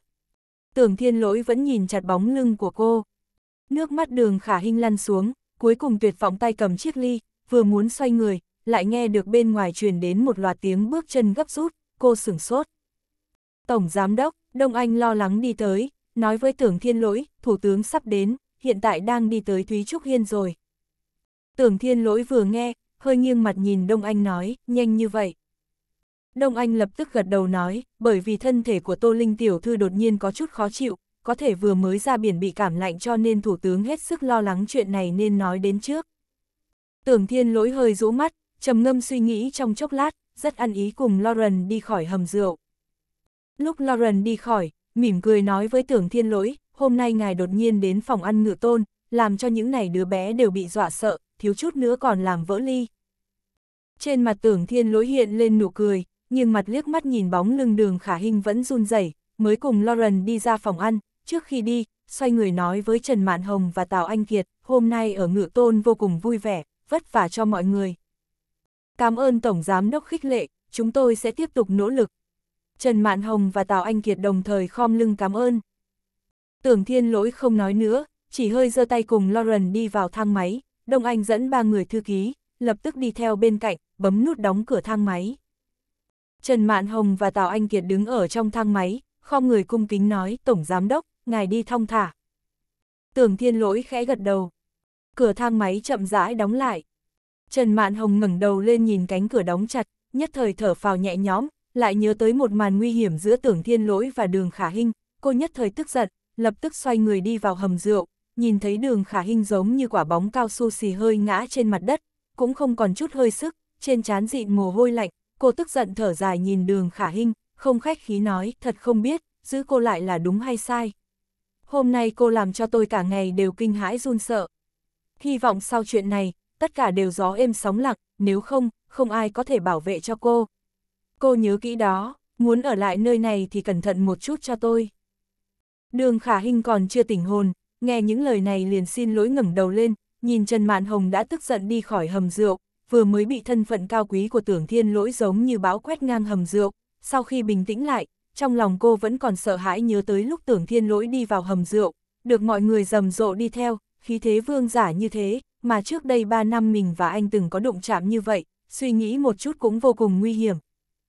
Cô thở dài một hơi tựa vào trên giá ly nhắm mắt lại, muốn tỉnh táo một lát bả vai bị người vỗ. a đường khả hình lập tức ngã ở bên cạnh cái ly, ngẩng đầu lên nhìn thấy Tiểu Nhu đang trợn to hai mắt, ngây ngốc nhìn mình, cô thở phào nhẹ nhõm, lau mồ hôi trên trán, nói cô làm tôi sợ muốn chết. Tiểu Nhu nghiêm mặt, rất nghiêm túc đứng ở bên cạnh đường khả hình, nhìn cô giống như nhìn quái vật. Đường khả hình quay mặt sang, nhìn thấy ánh mắt kỳ quái của Tiểu Nhu, cô liền có chút kiêng kỵ vươn tay khẽ vuốt mái tóc bên má trái của mình, lo lắng không phải Tiểu Nhu đã phát hiện ra cái gì chứ. Cô, rốt cuộc là ai? Tiểu Nhu hạ thấp giọng, nhìn đường khả hình, thần thần bí bí hỏi. Đường khả hình trợn to hai mắt, hơi cẩn thận nhìn Tiểu Nhu, đang suy nghĩ xem cô biết cái gì hay không. Mặc dù lo lắng như vậy nhưng cô vẫn bình tĩnh cười cười, nói tôi. Tôi tên là Khả Hinh A. Là, lưu trợ lý tìm cho tôi công việc này. Cô không biết sao. Không thể nào, Tiểu Nhu lập tức nhìn đường Khả Hinh, sững sờ nói, lúc này cô hiểu biết nhiều như vậy, làm sao tới nơi này đếm ly. Lúc này tôi sắp bị hù chết, vấn đề này, người bình thường không trả lời được đâu. Cô làm sao biết, nhất định cô không phải người tầm thường. Đường Khả Hinh quay mặt sang, nhìn vẻ mặt rất cố chấp và ngây ngốc của Tiểu Nhu, cô cũng không nhịn được nửa nụ cười nói cái này rất đơn giản a. Tiểu Nhu hít vào một ngụm khí lạnh, nhìn cô kinh ngạc đến nói không ra lời. Đường Khả hình có chút bất đắc dĩ nhìn Tiểu Nhu nói, số năm của Sâm Banh là do hôm nay lúc quản lý dẫn tôi vào khu vực rượu, tôi nhìn một cái, liền nhớ ngay. Sau đó, tài liệu về Sâm Banh, không phải ở bàn làm việc của chúng ta có sao. Hôm nay lúc tôi đếm ly, tiện tay nhìn một chút, rất dễ nhớ a. Trong lúc nhất thời Tiểu Nhu sừng sốt, nhìn đường khả hình, kinh ngạc nói cô mới nhìn một lần liền nhớ á. Đúng vậy a, chấm ngoặc kép, đường khả hình nhìn vẻ mặt Tiểu Nhu rất tin tưởng, cô cười nữa nói cũng không phải là tài liệu rất nhiều năm và rất dài, rất dễ nhớ a. Trời à, cô thật lợi hại, cô đã cứu tất cả chúng tôi. Tiểu Nhu thật sự sùng bái đường khả hình như thần, cô lập tức đi tới ngồi xuống bên cạnh đường khả hình, mới khe khẽ nói, lúc này nhờ có cô, tôi mới tránh được một kiếp. Cô yên tâm, tôi sẽ không giành công, tôi sẽ đi nói với quản lý chuyện lúc này chính là cô trả lời. Không hề có liên quan đến tôi, để quản lý thưởng cho cô. Không cần, đường khả hình lập tức ngăn cản Tiểu Nhu, có chút căng thẳng nói, ngàn vạn lần không cần. Bởi vì tôi cũng chỉ đọc theo tài liệu thôi, không có gì đáng để khen thưởng, hơn nữa lúc tôi tới nơi này làm việc, quản lý đã căn dặn tôi, bảo tôi không được quan tâm đến việc không quan hệ gì tới mình, nếu như tôi quan tâm, mặc kệ là tôi hay là đối phương, đều phải bị phạt. Tiểu Nhu lại hoảng sợ chừng lớn con ngươi nhìn đường khả hình, hạ thấp giọng nói có thật không? Ừm, đường khả hình nhìn dáng vẻ của cô, lập tức nhịn cười, gật đầu. Vậy tôi không nói, chấm than ngoặc kép, Tiểu Nhu vội vàng đáp ứng, rồi lại rất biết ơn nhìn đường khả hình cười nói, cô thật đúng là người có ơn lớn của chúng tôi là người có ơn lớn với nhà hàng chúng ta, tất cả chúng tôi được tăng lương vì cô, cô thật quá tuyệt vời, vì cảm ơn cô, sau này ly trong hầm rượu, tôi lau toàn bộ. Đường khả hình có chút kinh ngạc bật cười, nhìn cô bạn đồng nghiệp Tiểu Nhu đáng yêu, nói cô lau. Ừm, Tiểu Nhu lập tức gật đầu nói, mẹ tôi nói, được người ban cho một giọt nước, phải dũng cảm báo đáp bằng cả dòng suối. Huống chi, chúng tôi được cô cho bao nhiêu ân huệ. Hơn nữa công việc nơi này lại không phức tạp, cô yên tâm đi, tôi nhất định sẽ giúp cô giữ điều bí mật này, để cho cô an tâm ở chỗ này làm việc thật tốt. Trong lòng của đường khả hình ấm áp, nhìn tiểu nhu hiền lành đáng yêu như vậy, liền buông lỏng cười nói cảm ơn cô. Không cần khách khí, tiểu nhu lập tức chu miệng nhỏ, cười rất ngọt ngào, còn từ trong túi nhỏ đồng phục của mình, móc ra một viên kẹo trái cây, nói, hôm nay tôi mời cô ăn kẹo trái cây trước, phát tiền lương, tôi mời cô ăn bữa tiệc lớn. Đường khả hình có chút cố kỵ ngẩng đầu, nhìn camera một cái, khẽ nói, nơi này có camera, tôi mới vừa xem sổ tay nhân viên, chúng ta không thể ăn vặt. Không sợ, thật ra chúng tôi cũng đã nghiên cứu, chúng ta ngồi vị trí này, vừa lúc camera không thấy được. Cho nên chúng tôi thường trốn ở chỗ này lén ăn vặt. Tiểu Nhu cười có chút đắc ý, đưa kẹo đến khóe miệng đường khả hình nói, sau này tôi sẽ nghe cô sai bảo, cô kêu tôi làm cái gì, tôi sẽ làm cái đó. Đường khả hình nhịn không được cười lên một tiếng, cắn xuống viên kẹo trái cây, nhẹ nhàng hỏi, bảo cô làm cái gì thì cô làm cái đó. Ừ, tiểu nhu nhanh chóng gật đầu, nhìn mái tóc ngắn che giấu một bên khuôn mặt trắng nõn của đường khả hình, nhất là cặp mắt to, lóe lên ánh sáng hết sức sinh động, rất xinh đẹp, cô không khỏi nhớ tới tình cảnh lúc nãy, rất khoa trương xích lại gần đường khả hình nói, lúc này cô có sợ không? Đường khả hình không để ý tới những lời này, chỉ nhai viên kẹo trái cây, hỏi, sợ cái gì? Tiểu Nhu nhìn lại đường khả hình, rất ngạc nhiên nói, lúc cái ly rớt xuống A. Rất đáng sợ A, nghe nói cái ly kia, một cái ba ngàn đồng A. Đường khả hình nghe vậy, im lặng không lên tiếng, cúi đầu cười một tiếng. Tiểu Nhu lập tức nắm chặt cánh tay khả hình, căng thẳng giống như được xem phim nói cô cũng không biết. Lúc cái ly kia rớt xuống, chúng tôi cũng căng thẳng, trong cổ họng giống như nuốt phải trứng gà, cho rằng cô sẽ không chụp được cái ly kia, nghĩ tới cô thật sự xong rồi. Không ngờ Tổng Giám Đốc nhanh chóng đi lên trước, rất man ôm cô vào trong ngực, sau đó cùng cô chụp được cái ly kia. Thật là lãng mạn a. Đường khả hình hết ý kiến, quay đầu nhìn người này. Trên mặt Tiểu Nhu hiện lên vẻ ngây ngốc, cuồng nhiệt lại gần đường khả hình, sốt ruột hỏi, lúc này cô có cảm giác tim đập nhanh hay không? Cô biết không, anh ấy là người đàn ông đẹp trai nhất khách sạn Á Châu chúng ta. Là người tình trong mộng của tất cả nữ đồng nghiệp chúng ta. Đường khả hình không nhịn được nhớ tới cảm giác 3 năm trước đây, một đêm tối tăm, anh ôm mình vào trong ngực, ép buộc hôn, khi đó, cũng giống như lúc này, bá đạo, chiếm đoạt, tê dại. Tại sao cô không nói lời nào? Tiểu Nhu nhìn đường khả hình, ngạc nhiên hỏi. Đường khả hình chỉ cười nhẹ, cúi đầu, sắc mặt hơi ảm đạm nói, tôi không có thói quen nằm mơ, nhất là mơ xa vời. Mẫu người như Tổng Giám Đốc không phải để cho những người như chúng ta ảo tưởng. Tiểu Nhu vẫn hào hứng nói, cô yên tâm đi, mặt mũi của cô xinh đẹp như vậy, lại thông minh như vậy, ở khách sạn chúng ta, tương lai nhất định có tiền đồ đấy. Hai mắt đường khả hình lóe lên, nhớ tới trong ba năm qua, mình làm tất cả công việc nơi bóng tối, sống đầu đường xó chợ, không có người nào chấp nhận nhận một một cô gái bị hủy hoại gương mặt, ngoại trừ kho hàng dưới lòng đất, hay làm việc vặt trong một tiệm giày, thậm chí trong đêm mưa lạnh, mạo hiểm sách theo dương giày, cả người ướt róc rách, khi tất cả mọi người đều tan tầm, một mình cầm máy sấy thổi khô đôi giày ướt nhẹp, đó là những đêm cô đơn, những ngày tháng có rượu đỏ càng ngày càng rời khỏi mình thật xa. Tiểu Nhu sẽ tiếp tục nhìn cô, có chút xuất thần hỏi, tại sao cô không nói lời nào. Đường khả hình không lên tiếng, chỉ cúi đầu hơi cười cười rồi nhìn Tiểu Nhu, mất hết hơi sức nói, hiện tại tôi chỉ lo lắng, quản lý sẽ tức giận với tôi. Lúc này xảy ra chuyện như vậy, cô ấy nhất định bị chọc tức. Phốc, Tiểu Nhu đột nhiên che miệng cười. Cô cười cái gì? Đường khả hình nhìn Tiểu Nhu, ngạc nhiên hỏi. Tiểu Nhu lại không nhịn được bật cười nói, cô đừng thấy bình thường quản lý mắng chửi người rất hung dữ nhưng đối với mọi người khá tốt. Ở trong đời của cô ấy chỉ có một kẻ địch, ngoại trừ người kia, cô ấy cũng sẽ không tức giận ai cả. Ai vậy? Đường khả Hinh có chút ngạc nhiên nhìn Tiểu Nhu hỏi. Audio điện tử võ tấn bền.